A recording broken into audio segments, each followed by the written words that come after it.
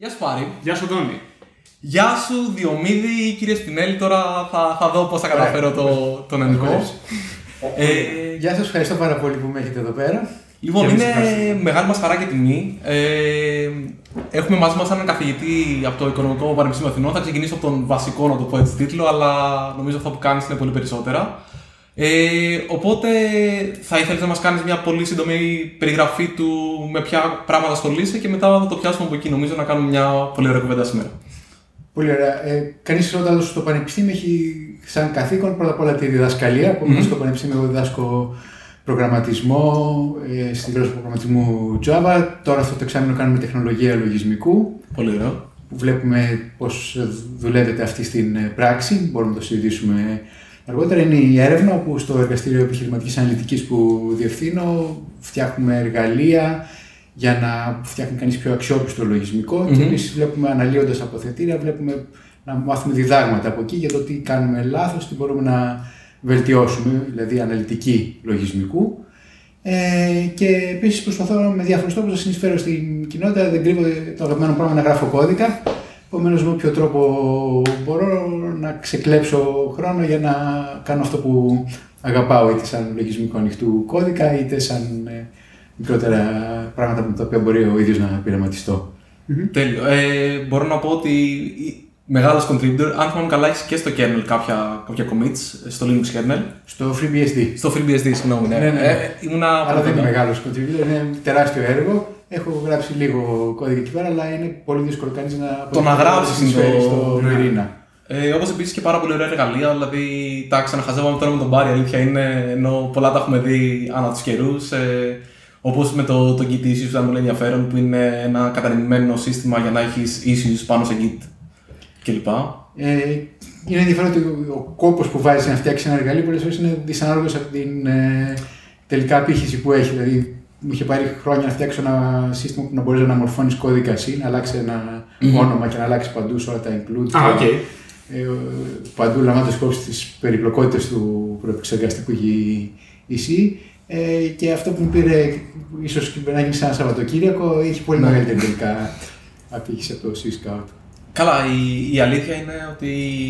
Καλά, τώρα και εγώ το Git Issues γιατί είναι το πιο Mm, εύκολο, ναι. αλλά και το Syscout, το Linux ε, History, δηλαδή νομίζω ότι. Δεν ξέρω και αν εσύ τα θυμάσαι όλα τα.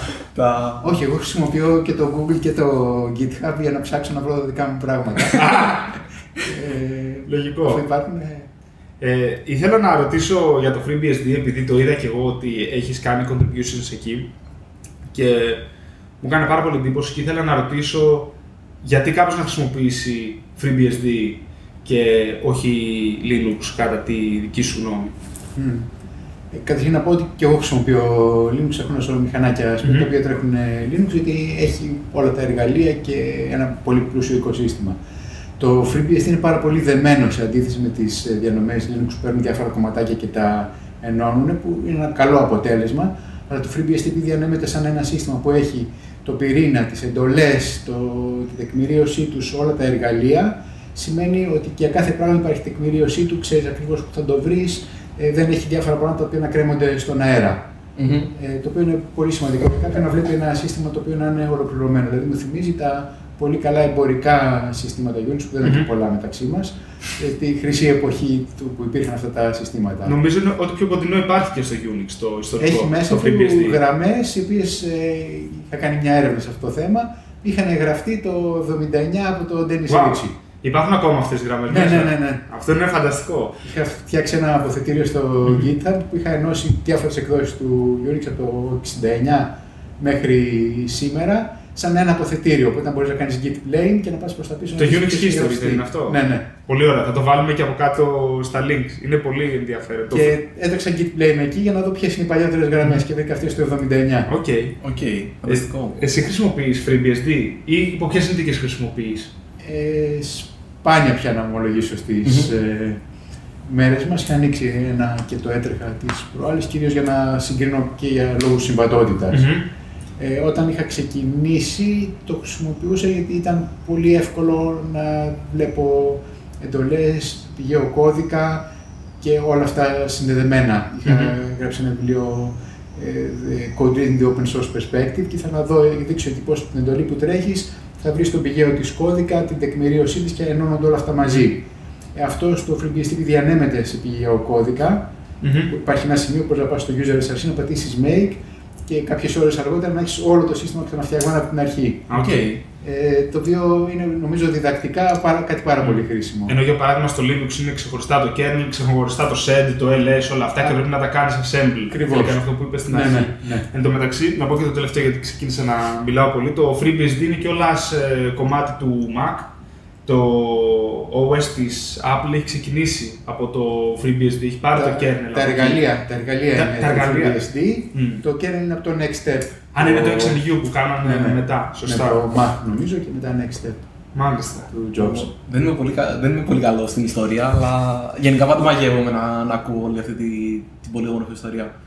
Ε, ωραία, μιας και το έχουμε πιάσει στα, στα εργαλεία, στο πιάσουμε αυτό το κομμάτι και μετά νομίζω ότι έχουμε πολύ, πολλά άλλα ωραία πράγματα να, να μεταπηδήσουμε.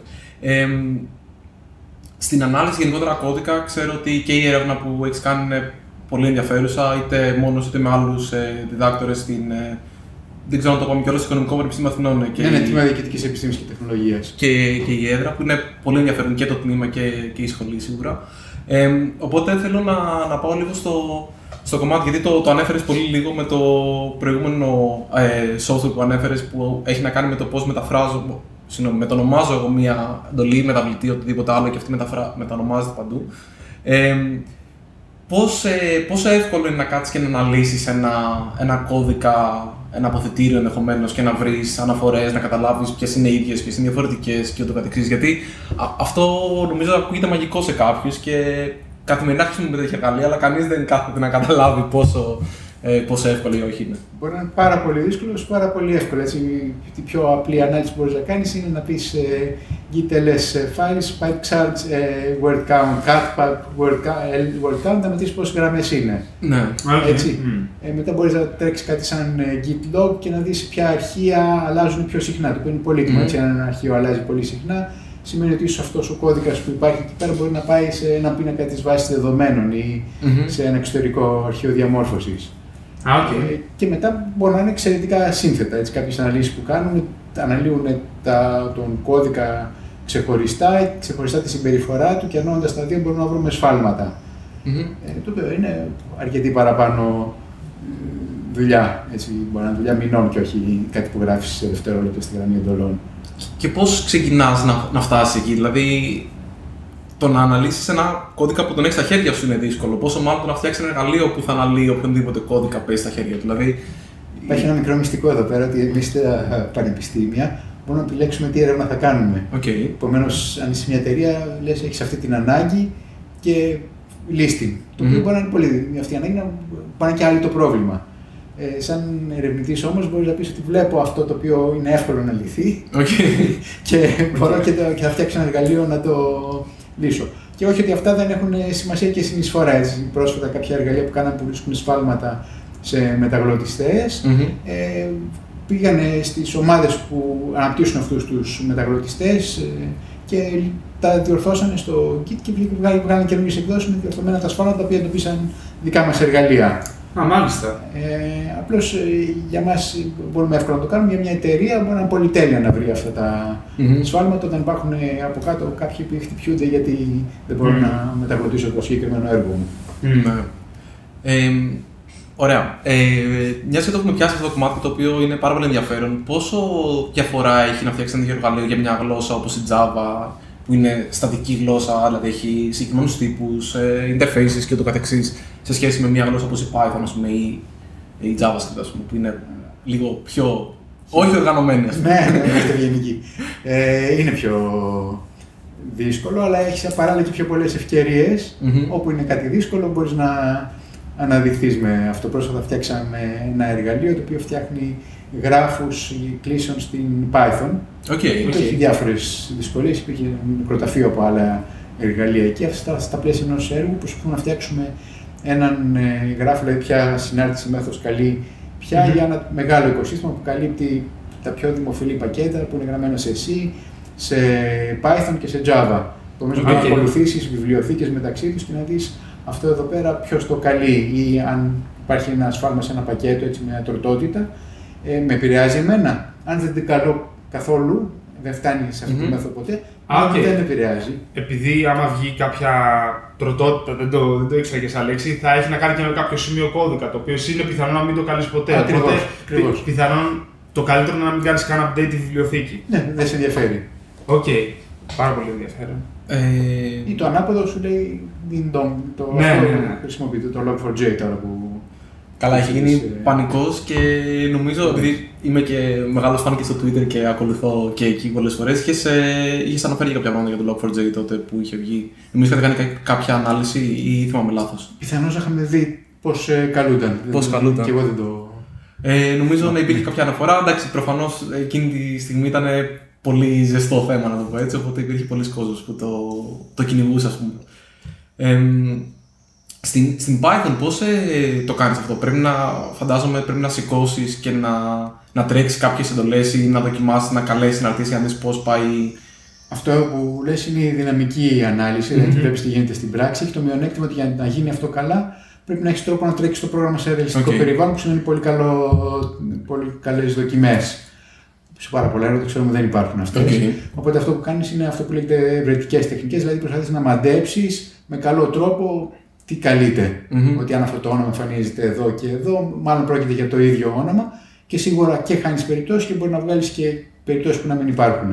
Α. Ψευδή θετικά και αρνητικά. Άρα δηλαδή αυτό το, ο γράφος κλήσεων κλπ. γίνεται καθαρά στατικά. Δεν... Ναι, ναι. Αλήθεια, ε. Πω, πω, Wow. μαγεία μου φαίνεται αυτό. Φανταστικό. Εντάξει, Ε, στη, στη Java, όπως λες, είναι εύκολο, στην Python πιο δύσκολο, στη C αρ- δεν είναι δύσκολο. Οκ. Και πα, πα, χάνεις πράγματα, έτσι, αν έχεις ένα δείκτη τώρα στη C, τρέχα γύρευε μπορεί να Α, κάνει οκ. οτιδήποτε. Οκ. Δεν μπορείς να το Ε, πιάσεις. Καλά, ε, όντως, γιατί δεν έχεις καν safety, οπότε μπορείς να πας να Μπορεί να κάνεις τα πάντα στην ουσία, ναι. Που είναι σε- Αλλά οι άνθρωποι δεν κάνουν τα πάντα συνήθως. Οκ. Ε, Οπότε ελπίζουν. Ναι, ναι, ναι. Ήθελα να ρωτήσω, μια σκέψη ότι ασχολείσαι με τεχνολογία λογισμικού. Τι είναι η τεχνολογία λογισμικού, τουλάχιστον στα πλαίσια του δικού σου εργαστηρίου και πανεπιστημίου. Με τι ασχολείται; Με τι ασχολούμαστε εμείς σαν Ναι, ναι, ναι, ναι, ναι. εργαστήριο είναι αυτά τα που είπα. κα- η Τεχνολογία λογισμικών είναι γενικά πώς να φτιάχνουμε αξιόπιστο Μμμ. λογισμικό από πλευράς διαργασίας και αποτελεσμάτων. Περιλαμβάνει και τα εργαλεία, τις μεθόδους, τον κύκλο ζωής, όλα αυτά τα. Ε, θεωρητικά κινείται βαρετά αν δεν τα δεις στην Α, ναι, πράξη. ναι. Ε, αυτό που κάνουμε εμείς είναι πρώτον ε, αυ- που- αυτό που συζητάγαμε πριν, εργαλεία με τα οποία μπορείς να φτιάξεις πιο αξιόπιστο λογισμικό, να βρεις σφάλματα και δεύτερον ανάλυση αποθετηρίων από Μμμ. το GitHub για παράδειγμα για να μπορέσουμε να, βγούμε, να βγάλουμε χρήσιμα συμπεράσματα γι' αυτό. Έχετε βγάλει κάποιο συμπέρασμα ενδιαφέρον που βλέπετε συχνά σαν κακή πρακτική ε, σε software που υπάρχει έξω; Ή κάποια καλή πρακτική η οποία πολύ συχνά λείπει; Υ- Υπάρχει ένα συνέδριο το οποίο γίνεται κάθε χρόνο Mining Software Repositories και έχει σαν logo έναν νάνο εκεί που σκάβει με την ε, αξίνα του από τους, Α. ε, τα- Οκ. ε, κόμικ. Ε, και εκεί πέρα δημοσιεύονται συνέχεια εργασίες σε αυτά τα θέματα. Και το τι βρίσκεις εκεί δεν λέγεται. Ότι πιο πολλά σφάλματα, ας πούμε, εισάγονται στις Παρασκευές. Α, οκ, επειδή ο κόσμος μάλλον θέλει να τελειώνει. ναι, ναι, ναι. Την Παρασκευή. Ε, ε, ότι οι γυναίκες προγραμματιστές ε, μπορούν να συνεισφέρουν περισσότερο σε έργα λογισμικού, αλλά άμα είναι έξω από το... είναι πιο παραγωγικές δηλαδή, αλλά άμα είναι έξω από το έργο, τα pull requests τα οποία κάνουν είναι πιο δύσκολο να εισαχθούν. Οκ. Αυτό είναι πάρα πάρα πάρα, πάρα πολύ ενδιαφέρον. Και γίνονται συνέχεια τέτοιου είδους μελέτες που βγάζουν αποτελέσματα. Μία, ένα ερώτημα που έχω προσωπικά και το ψάχνουμε αυτόν τον καιρό είναι όλη αυτή η έρευνα που κάνουμε τελικά τι καταλήγει να χρησιμοποιείται στην πράξη. Μμμ. Έτσι πως ε, ωφελεί ε, εμάς με το καπέλο μας σαν ε, προγραμματιστές και όχι Μμμ. σαν ε, Τι, και για όχι να- που όμως αναφέρει τις εργασίες του άλλου. Οκ. Για να μπορέσει να χρησιμοποιηθεί στην πράξη η έρευνά σας, χρειάζεται κάποια εταιρεία, κάποιο οργανισμό να γνωρίζει τα εργαλεία τα οποία εσείς δημοσιεύετε. Σωστά. Και μετά κάπως να τα εισάγει. Ναι, δεν απαραίτητο να είναι οργανισμό. Αν κάτι είναι δημοφιλές στο GitHub, κάποιος θέλει το κατεβάζει και το χρησιμοποιεί έτσι το CURL, έτσι από το πιο δημοφιλή και χρήσιμα Ναι. προγράμματα. Το συντηρεί- συντηρείται από απλώ εισφορέ άλλων εταιριών, αλλά είναι ένα ανεξάρτητο έργο. Πολλά από τα εργαλεία που φτιάχνουμε τα κατεβάζουν αυτοί οι οποίοι τα βρίσκουν χρήσιμα και τα χρησιμοποιούν. Έχει κάποιο GitHub account, συγγνώμη, υπάρχει κάποιο GitHub account του εργαστηρίου του οποίου έχετε και στο οποίο υπάρχουν αυτά τα εργαλεία ή τα βάζει ο κάθε.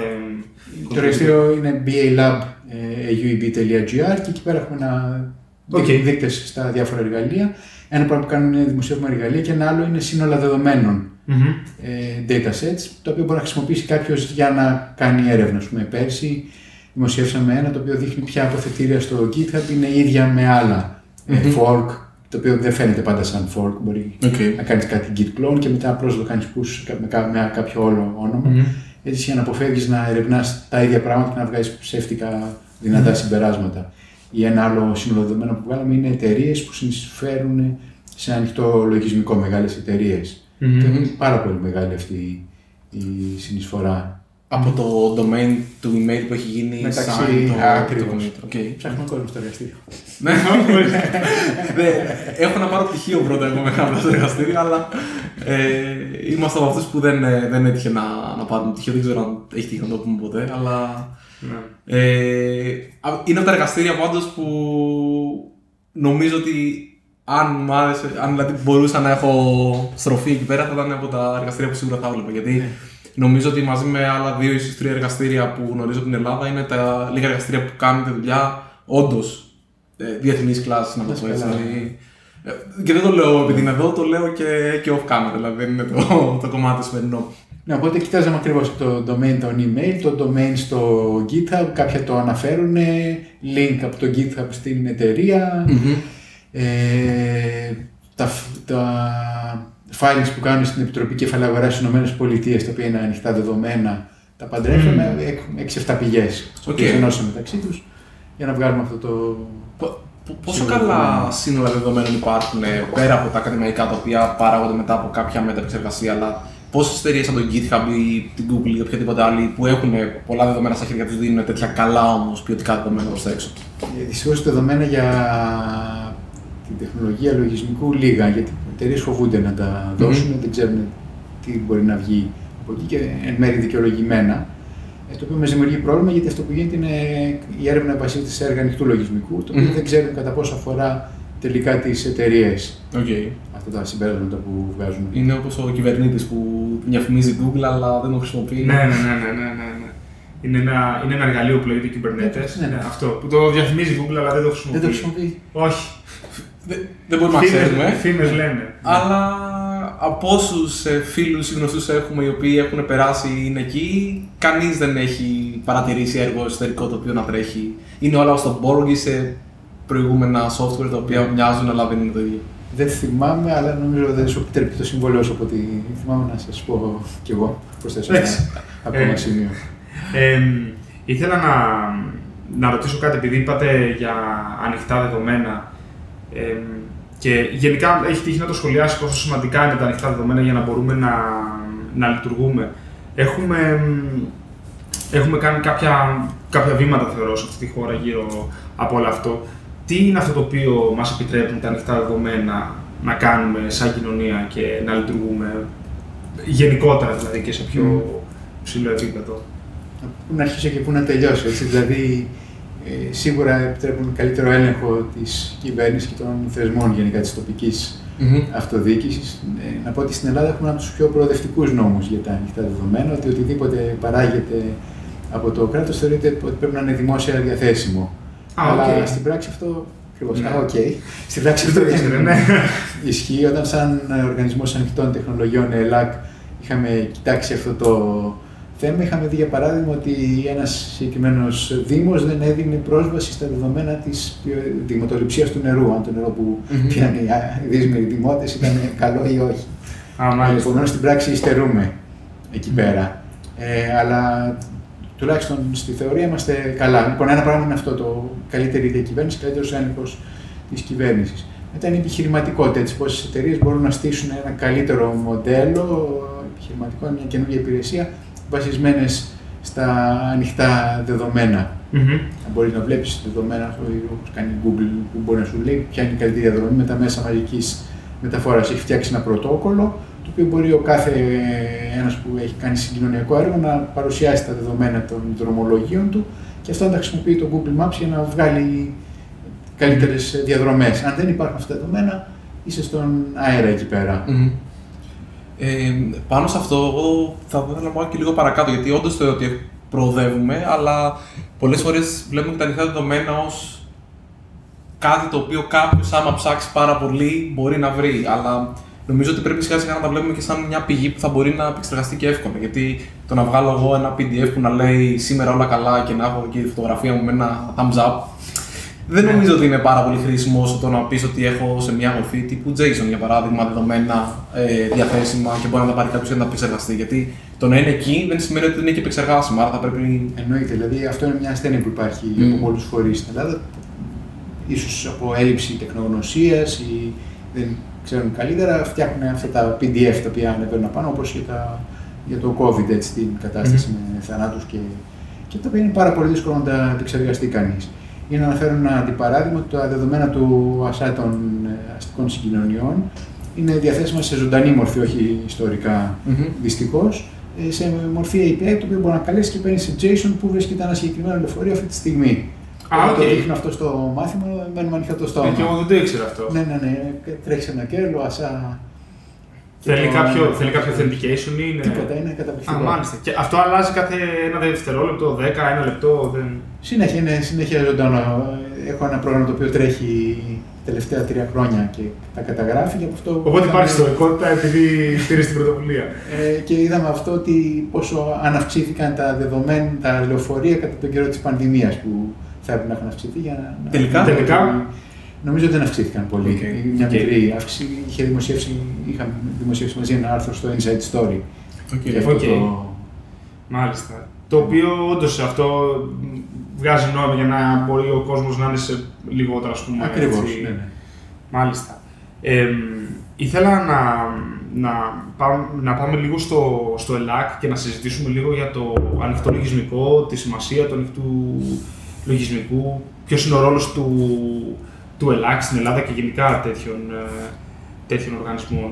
Οπότε μ, ε, ε, θα το ξεκινήσω και λίγο πιο συγκεκριμένα. Είδα πως εσύ επιλέγεις ανοιχτό λογισμικό για να κάνεις τα μαθήματά σου, τις παραδόσεις, ε, και γενικά στο, στο πλαίσιο του εργαστηρίου. Γιατί αυτό; Όσο μπορώ καταρχήν Ναι, να προ- πω, προφανώς. να είμαι ειλικρινής, Προφανώς. υπάρχουν και σταυροφόροι τους οποίους εκτιμώ ιδιαίτερα. Ε, δεν ανήκω σε αυτή την κατηγορία, δηλαδή στο λάπτοπ μου δεν τρέχω Μμμ. ε, Linux γιατί δεν έχω τον χρόνο να βρω όλους τους drive και να ταιριάξω όλα μεταξύ τους, να δουλέψει η κάμερα και το, Μμμ. το κλείσιμο και η κατανάλωση ενέργειας όλα στην εντέλεια. Αλλά όσο μπορώ το κάνω και για πρακτικούς και για ιδεολογικούς ε, λόγους. Ε, για ποιο λόγο, καταρχήν δεν δεσμεύεσαι από κάποιο εμπορικό πάροχο, επομένως ξέρεις ότι αυτό θα βρίσκεται εκεί για πάντα. Μμμ. Ειδικά τώρα που υπάρχει το GitHub και τέτοιοι Μμμ. ε, πόροι. Ο άλλος δεν έχει κίνητρο να σε δεσμεύσει, επομένως τα δεδομένα φυλάσσονται με ανοιχτή κατά βάση μορφή έτσι, για επεξεργασία ας πούμε, διανυσματικών εικόνων. Χρησιμοποιώ το Inkscape. OK. Το οποίο αυτό φυλάει SVG. Ε, Πολλές φορές μου έχει τύχει να πάρω αυτά τα αρχεία και να τα επεξεργαστώ με Python για να κάνω αλλαγές μέσα Οκ. τους. Πόσο πιο δύσκολο είναι αυτό να το κάνεις σε άλλα πακέτα εμπορικά. Ναι, δεν το συζητάμε. Αυτό. Ε, και άλλος πρακτικός λόγος είναι όταν είσαι σε μια εταιρεία, σε έναν οργανισμό, πολλές φορές και στο δημόσιο είναι πάρα πολύ δύσκολο να αγοράσεις εμπορικό λογισμικό, να περάσει από διάφορα κύματα γραφειοκρατίας. Μμμ. Ε, σε ορισμένες εταιρείες, γιατί υπάρχουν και εταιρείες με γραφειοκρατία για να εγκαταστήσεις λογισμικό ανοιχτού κώδικα, πατάς ένα κουμπί, το κατεβάζεις, τον καθιστάς και κάνεις τη δουλειά σου. Μμμ. Επομένως υπάρχει και αυτός ο ε, πρακτικός λόγος. Συν για μένα και για πολλούς από εμάς ότι μπορούμε να κάνουμε τις διορθώσεις που θέλουμε. Μπορούμε, αν κάτι πάει στραβά, να το προσφορματώσουμε, να βρούμε γιατί αυτό το μήνυμα λάθος εμφανίζεται και πας δύο-τρεις γραμμές απάνω και βλέπεις αυτό το if, το οποίο δεν είναι τεκμηριωμένο. Πιθανά OK. okay. ψάχνει να βρει και αυτό το αρχείο. Οκ. Έτσι δεν είναι λίγες οι φορές που δεν βρίσκω λύση στην τεκμηρίωση, ανοίγω τον κώδικα και μπορώ να βρω κάτι και κάποιες φορές για να ξύσω και τη δικιά μου φαγούρα θα κάνω και μια διόρθωση την οποία μετά θα την εκμεταλλεύομαι για πάντα. Πριν χρόνια είχα πονέσει είναι η αλήθεια να προσθέσω στο Thunderbird μια εντολή από το πληκτρολόγιο να πάει σε ένα συγκεκριμένο Ναι. φάκελο. Το, το, το είδα και αυτό. Ναι. Ε, Είναι πολύ καλό. Το χρησιμοποιώ τώρα καθημερινά αυτό. Πολλές Mm. φορές μες στην ημέρα. Έχω κατεβάσει δεκάδες εκδόσεις από τότε χωρίς να κάνω εγώ τίποτα, επειδή ενσωματώθηκε τελικά στον κώδικα. Πόσο εύκολο είναι όμως να, να κάνεις αυτή τη συνεισφορά, Δηλαδή, και okay, κάποιος με την εμπειρία τη δικιά σου το έχεις κάνει παραπάνω μία φορές, παραπάνω από πολλές φορές θα έλεγα. Ε, αν έρχονταν ένα μαθητή σου αύριο και σου έλεγε Μ' αρέσει αυτό, θα ήθελα να το κάνω κι εγώ, έχω βρει αυτό το πρόβλημα, νομίζω ότι ξέρω τη λύση, αλλά τι κάνω από εδώ και πέρα, πώς ξεκινάω. Λοιπόν, α, και ευχαριστώ πολύ που έθεσες το θέμα του μαθητή, γιατί δεν είναι δύσκολο. Ο τρόπος που κάνουμε το μάθημα της τεχνολογίας λογισμικού βαθμολογείται μέσω από συνεισφορά που κάνουν οι φοιτητές σε έργα ανοιχτού λογισμικού. Οκ, πολύ ενδιαφέρον αυτό. Επομένως, διαλέγουν ένα έργο και επιλέγουν τι θα συνεισφέρουν σε αυτό το έργο και παρουσιάζουν αυτή τη συνεισφορά. Περίπου τα, δεν απέτυχε του μαθήματος να γίνει δεκτή η συνεισφορά τους, περίπου τα μισά έργα την κάνουν δεκτή. Οκ. Εξαρτάται από το έργο. Ε, αν πας να κάνεις μια αλλαγή στον πυρήνα του Linux, θα φας ξύλο και είναι δύσκολο, δεν είναι αδύνατο, αλλά δεν θα το δοκίμαζα να το κάνω. Πρέπει να έχεις ψυχη, Ναι, ναι, ψυχικό ναι, σθένος για να ναι, το ναι. καταφέρεις. Ε, σε άλλα, σε μικρότερα έργα, μπορεί να μου έχει τύχει να στείλω ένα pull request ε, Κυριακή βράδυ και Δευτέρα πρωί να το έχουν ενσωματώσει. Και είναι και καλή πρακτική έτσι, ψυχολογικά. Κάτι βλέπεις ένα τυπογραφικό λάθος στην τεκμηρίωση ή, ή κάτι το οποίο λείπει και σε πόνεσαι να το βρεις. Διόρθωσέ το, ακόμα και μέσα στο Git, χωρίς καν να κάνεις Git clone και ε, να ακολουθήσει όλη τη διαδικασία. Ένα δεις ψυχολογικό ότι έβαλα και εγώ το δικό μου πετραδάκι. Και αυτό είναι και μετά λίγο κολλητικό. Ε, είναι φανταστικό και μου αρέσει πάρα πολύ που αναφέρει το κομμάτι της ε, τεκμηρίωσης, γιατί πολλές φορές την ε, σκεφτόμαστε και τι θα πάω και εγώ και θα κάνω pull request μόνο και μόνο για ένα παράδειγμα που μπορώ να βρω ή μια αλλαγή στην τεκμηρίωση. Αλλά είναι πάρα πολύ σημαντικό αυτό, γιατί αν σκεφτείς τις χαμένες ώρες που όλοι όσοι είχαν το ίδιο πρόβλημα μαζί σου και δεν μπήκαν στη διαδικασία να καταλάβουν γιατί δεν δουλεύει η εντολή που ήταν ε, με ένα τυπογραφικό για παράδειγμα, ή είχε ένα λάθος flag ή δεν ξέρω και εγώ τι άλλο. Ακριβώς. Ε, είναι, είναι πάρα πολύ σημαντικό και ναι, οκ, δεν μπορείς να κάνεις μόνο αυτό για πάντα. Πρέπει να βρεις να κάνεις και άλλα πράγματα πιο μετά. Αλλά είναι πολύ καλός τρόπος να ξεκινήσεις γιατί μετά δεν είσαι ένας κανένας. Είσαι κάποιος ο οποίος ενδιαφέρθηκε, άρα η επο- το επόμενο request θα ληφθεί και πιο σοβαρά, έτσι. Ακριβώς είναι τρόπος να ξεκινήσεις κάποιο έργο. Το ίδιο και συνεισφορά στο, με απαντήσεις στο Stack Overflow. Πρέπει να υπολογίσω ότι μου έχει τύχει μία φορά, αλλά αρκετές να ψάξω κάτι και να βρεθεί και μια απάντηση μέσα. Α, ναι. ε, την οποία το έχω ξεχάσει εντελώς ότι α, υπάρχει αυτό το συγκεκριμένο πράγμα το οποίο το λύνεις έτσι. Είναι απίστευτο πάντως γιατί ε, αυτό το οποίο εμένα μου αρέσει πάρα πολύ με το, με το Stack Overflow και θεωρώ ότι είναι φοβερό είναι το ότι είναι, είναι peer-to-peer στην ουσία αυτό. Οπότε δεν υπάρχει κάποιο κίνητρο πίσω από το οποίο ε, κινείται η πληροφορία. Είναι πραγματικά προγραμματιστές οι οποίοι προσπαθούν κάπως να βοηθήσουν ο ένας τον άλλον και θεωρώ ότι είναι και μ, πολύ ενδιαφέρουσα, βασικά είναι πολύ σημαντική θεωρώ η διαδικασία τους, τους στυλ. Εγώ μπαίνω να ψάξω να βρω και επίσης μπαίνω να βοηθήσω κιόλας. Μπαίνω να δώσω. Προφανώς είναι, είναι πιο δύσκολο ο κόσμος να συνεισφέρει, είτε αυτό είναι κώδικα, είτε απαντήσεις στο Stack Overflow. Αλλά μ, εν τέλει θεωρώ στο Stack Overflow έχουν κάνει πολύ καλή δουλειά γιατί με το ranking όπως ανεβαίνει στην ουσία υπάρχει ένα κίνητρο γύρω, γύρω από όλο αυτό. Σε κάποια θέματα είναι καταπληκτικό, σε κάποια άλλες τεχνολογικές περιοχές είναι σε πιάνει η ψυχή σου μέσα. Δηλαδή; Κοίταζα τις προάλλες κάποια, κάποιο θέμα στο React Native Okay. και ήταν απαντήσεις αλλού για αλλού. Κάθε μία, η μία έλεγε να κάνεις reboot, η άλλη να τα σβήσεις όλα και να ξανατρέξεις NPM, ε, η άλλη να, βγάλει- κα- να πας από μια έκδοση πιο πίσω. Κανείς δεν ασχολήθηκε σε βάθος να καταλάβει γιατί υπάρχει αυτό το πρόβλημα. Και αυτό το έχω δει γενικά να υπάρχει σε αυτή την ε, κοινότητα και σε κάποιες άλλες, να μην, να μην τώρα θίξουμε τη συγκεκριμένη. Ε, δεν ξέρω τι σημαίνει, είναι πάντως ένα ενδιαφέρον. Σε άλλες βλέπεις τέλειες απαντήσεις, τεκμηριωμένες, Μμμ. ε, που σου εξηγούν ακριβώς για ποιο λόγο και τι πρέπει να κάνεις. Φαντάζομαι- Σε κάποιες άλλες είναι σαν βουντού. οι Α, ναι. απαντήσεις. Φαντάζομαι θα έχει να κάνει και με το, το React Native στα τεχνολογία είναι καινούργια, οπότε δεν υπάρχουν πολύ όριμοι προγραμματιστές που να έχουν τρυφήσει εκτός προφανώς Mm. από αυτούς οι οποίοι το έχουν φτιάξει οι contributors, οι οποίοι μάλλον κάθονται στο GitHub και απαντάνε σε issues πιο πολύ. Δεν έχουν, ναι, και αυτό βλέπεις. Ναι, αλλά για παράδειγμα σε πιο old school τεχνολογίες όπου να γράψεις C με GCC, αυτό υπάρχει δεκάδες χρόνια. Οπότε Mm. υπάρχει κόσμος στο Stack Overflow που γράφει, χρησιμοποιεί το GCC ε, τακτικά. Η- Και μιας και είπα το GCC, ε, θυμήθηκα ένα, μια σημαντική διαφορά του FreeBSD με το Linux είναι ότι το, ο C compiler που έχει το FreeBSD είναι ο Clang Ναι. πλέον. Και ένας σημαντικός λόγος που κάποιος χρησιμοποιεί το Clang είναι η άδεια χρήσης που έχει, που είναι MIT licensed. Πόσο σημασία έχει η άδεια χρήσης για το open source και αν εσύ προτιμάς κάποια, ποια είναι; Μμ. Ωραία, πόση σημασία έχει είναι η κινητήρια δύναμη του λογισμικού ανοιχτού κώδικα, έτσι, ότι ε, θέτει κάποια όρια τα οποία κινείσαι εκεί πέρα μέσα. Πολλοί δεν τους δίνουμε ε, σημασία, αλλά αν δεν υπήρχε θα ήταν ένα ανοιχτικό περιβάλλον στο οποίο δεν θα ξέρεις που βρίσκεσαι και δεν θα το χρησιμοποιούσαν οι εταιρείες. Στις εταιρείες δίνει μια σιγουριά ότι υπάρχει μια άδεια και μπορούν να το χρησιμοποιήσουν από κάποιον μέλη τη εταιρεία. Και πάνε υπάρχουν δικηγόροι που αυτοί λένε τι μπορείς να κάνεις και τι δεν μπορείς. Δεν είναι, είναι δικιά μας πρωτοβουλία.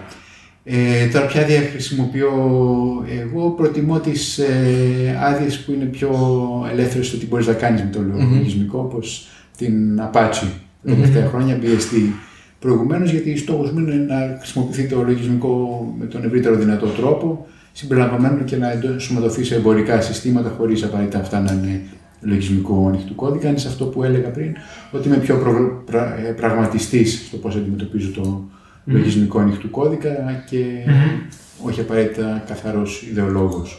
Ε, ναι, και εκεί πέρα νομίζω και η MIT έχει κάνει αρκετή δουλ- αρκετή δουλειά. Έχει, Αντίστοιχη είναι ακριβώς. έχει επεκτα, επεκταθεί, αν δεν κάνω λάθος, την Apache. Αν θυμάμαι καλά. Είχε βασιστεί νομίζω και έχει επεκταθεί. Νομίζω είναι MIT, η Apache είναι η επέκταση Α, της οκ, ε, ανάποδα. MIT. Το MIT έφτιαχνε λογισμικό από τη δεκαετία του 80, έτσι, το X-Window System. Μμμ. Άνθρωποι Ε, χτίζοντας- Α, είναι, είναι στο MIT που έχουν φτιάξει το Windows System. Ναι, Δεν το ναι, γνώριζα αυτό. ε, Πόσο θυμάμαι, ναι. Μάλιστα. Ωραία, τώρα θα κάνω μια έτσι πιο καυστική ερώτηση και θα πάω στην GPL ε, άδεια, η οποία θεωρείται λίγο πιο. Πιο ανοιχτή. Να το... όχι, δεν είναι ακριβώς πιο ανοιχτή, είναι λίγο. Προάγει το, Προάγει το ανοιχτό κώδικα. λογισμικό. Ναι, ναι, με πίεση. Αλλά ίσως λίγο με έναν τρόπο ο οποίος είναι και λίγο. Δηλαδή σου βάζει και ένα σαμαράκι μπροστά, δεν είναι τόσο απλό. Α, ακριβώς. Ποια, ποια θα ήταν η άποψή σου για, για μια τόσο αυστηρή ε, άδεια; Καταλαβαίνω το σκοπό της, καταλαβαίνω ε, ότι μπορεί να βοηθήσει και έχει βοηθήσει έτσι το ότι βρίσκουμε το λογισμικό για διάφορους ε, δρομολογητές που δεν ξέρεις τι έχουν μέσα και παρόλα αυτά έχουν καθίσει και το έχουν βάλει κάπου, δεν είναι πάντα χρήσιμο. Είναι επειδή ακριβώς υποχρεώνονται από την Οκ. ε, GPL, επομένως έχει ρόλο να παίξει. Ε, δεν νομίζω ότι είναι η λύση για τα πάντα. Οκ, ναι. Ε, νομίζω ότι είναι ίσως για συγκεκριμένα projects τα οποία θα- ίσως παίζουν πολύ χαμηλά ή σε πολύ συγκεκριμένες συσκευές που δεν θα ήθελες εύκολα κάποιος να το πάρει και να το κλείσει μετά, ας πούμε. Σου δίνει και μια ακριβώς διέξοδο ότι θα το, και μπορεί, μπορεί με κατάλληλη χρήση της ακριβώς, σωστά δεν το είπα αυτό, ε, να το εκμεταλλευτείς και να έχεις διπλή άδεια, να έχεις μια GPL την οποία βοηθάς στην κοινότητα και για όποιον θέλει να σε πληρώσει, οπότε να μπορείς να διατηρήσεις και ένα μοντέλο Μμμ. επιχειρηματικό πάνω σε αυτό. Μμμ. Το οποίο δεν γίνεται με την ε, BSD, MIT, Apache. Υπάρχει επιχειρηματικό μοντέλο για το open source; Ε, τε- Θα τη συζητάμε έτσι. Είδαμε την αγορά της Red Hat από την IBM, τις μεγαλύτερες εξαγορέ που είχαν γίνει μέχρι Μμμ. τότε. Όμως υπάρχουν πολλά μοντέλα. Η Red Hat έχει νομίζω το μοντέλο καθαρά της της υποστήριξης Συμβουλευτικής, πάνω στο, ακριβώς. και της συμβουλευτική πάνω στο λογισμικό. Υπάρχουν άλλα που έχεις τον πυρήνα δωρεάν και ενδεχομένως κάποιες έξτρα υπηρεσίες ή μια ε, software as a service έκδοση του προϊόντος, δηλαδή το στείνω κάπου, το διαχειρίζομαι, Αυτό φροντίζω παρέχει απέχει σαν το υπηρεσία αυτό. ακριβώς. και το παίρνω στην υπηρεσία. Υπάρχουν διάφορα μοντέλα ε, κλπ. Και ίσως ένα πράγμα που θα έλειπε από, το, από τα μαθήματα είναι και να, και να δει και πώς επιχειρηματικά θα μπορούσε να χρησιμοποιήσει είτε το ανοιχτό λογισμικό είτε άλλο λογισμικό ένας μαθητής. Γιατί θα, θα γυρνάμε συχνά στους μαθητές γιατί νομίζω Ναι, ότι ναι, ναι.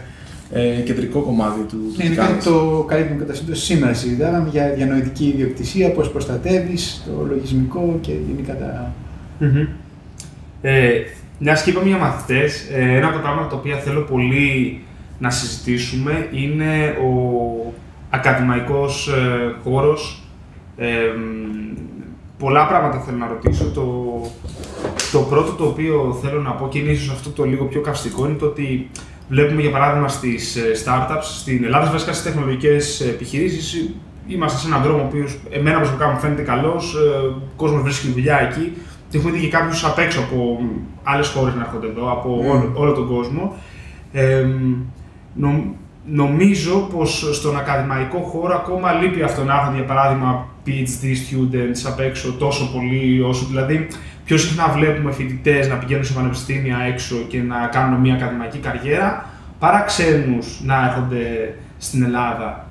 Τι είναι αυτό το οποίο χρειάζεται να κάνουμε για να πετύχουμε αυτό το πράγμα και γιατί έχουμε να κερδίσουμε από αυτό; Γιατί έχουμε να κερδίσουμε είναι η εξωστρέφεια, έτσι, να μπορέσουμε να πάρουμε καινούριους γνώσεις, τρόπους σκέψης, κουλτούρα. Είναι, είναι σίγουρα κάτι πάρα πολύ θετικό. Είχα την τύχη να έχω έναν ε, υποψήφιο διδάκτορα, τώρα είναι ε, επίκουρος καθηγητής ε, πανεπιστήμιος στον Καναδά από την Ινδία. Ήρθε Α, στην μάλιστα. Ελλάδα και είναι διδακτορικό. Wow.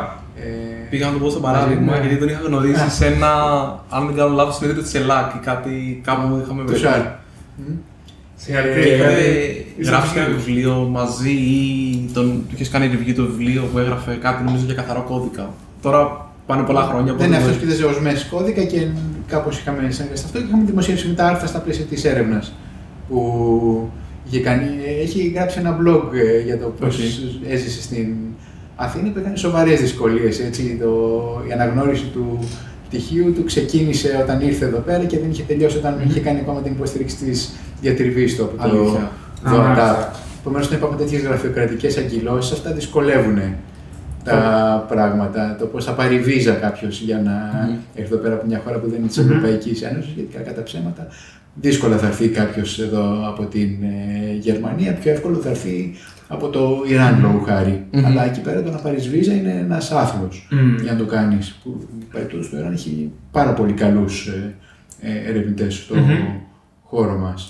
Ε, και γιατί να μην έρθει ένας φοιτητής από τη Γερμανία στην Ελλάδα; Δηλαδή, τι είναι αυτά τα οποία θα έπρεπε να ξεπεράσουμε για να γίνει Θέλουμε αυτό; καλύτερα πανεπιστήμια. Έτσι, μιλάμε για τις κατατάξεις των ε, πανεπιστήμιων. Πρέπει τα δικά μας πανεπιστήμια να ανέβουν, να είναι φάμιλα κάποιων ε, Μμμ. γερμανικών και καλύτερα από αυτά. Το οποίο ακόμα αυτή τη στιγμή είναι το ζητούμενο. Υπάρχουν και χειρότερα ίσως γερμανικά από ελληνικά. Υπάρχουν και πάρα πολλά καλύτερα τα οποία ίσως θα προτιμήσει ένας ε, Γερμανός Τα οποία ανεβαίνουν με βάση το αποτέλεσμα της έρευνας. Τα πανεπιστήμια, τα γενικά. Έτσι ανεβαίνουν στα rankings. Ε, όχι μόνο, είναι ένα τμήμα είναι η έρευνα, το άλλο είναι και η διδασκαλία. Μμμ. Έτσι. Τι δουλειά βρίσκουν οι απόφοιτοι των ε, πανεπιστήμιων, πόσο ευχαριστημένοι είναι από αυτά που διδάχτηκαν, τι απορρόφηση έχουν ε, από Μμμ. την αγορά. Και αυτά τα πράγματα κρίνονται, όπως και η έρευνα, οι δημοσιεύσεις που γίνονται, πόσα βραβεία Νόμπελ έχει να δείξει ένα ε, πανεπιστήμιο. Υπάρχουν πολλοί δείκτες και υπάρχουν και διάφορες κατατάξεις, αλλά δυστυχώς σε καμία δεν είναι τα πανεπιστήμια μας στην ε, κορυφή, που σημαίνει ότι έχουμε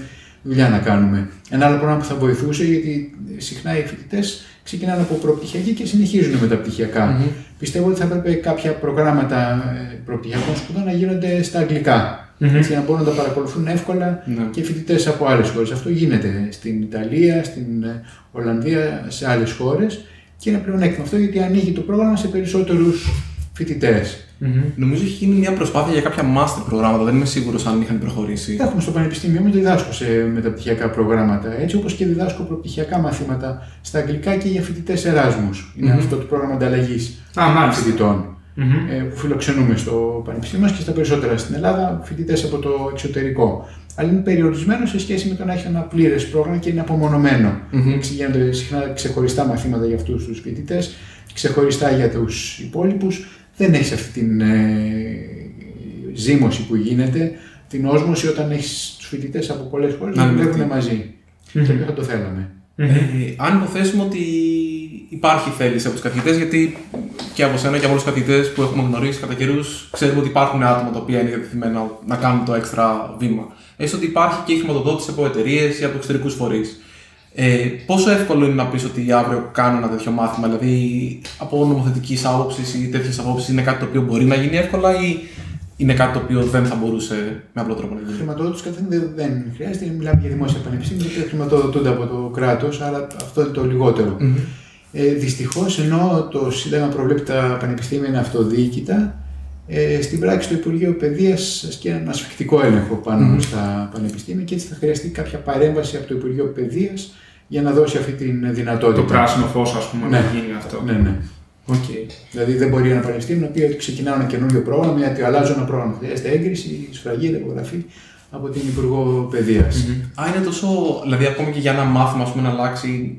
Ναι, Εντάξει, ναι, ακόμα μάθημα, και, ναι, για και- μάθημα. Και ε. το, το πρόγραμμα σπουδών ε, του ενός ε, μεταπτυχιακού δημοσιεύεται στο φύλλο της εφημερίδας της κυβερνήσεως. Α, μάλιστα. Το οποίο σημαίνει ότι περνάει από το Υπουργείο Παιδείας με κάποιο τρόπο. Ε, Και τι τα κάνουμε αυτά τα πράγματα τόσο δύσκολα, δηλαδή. ώρες, ώρες.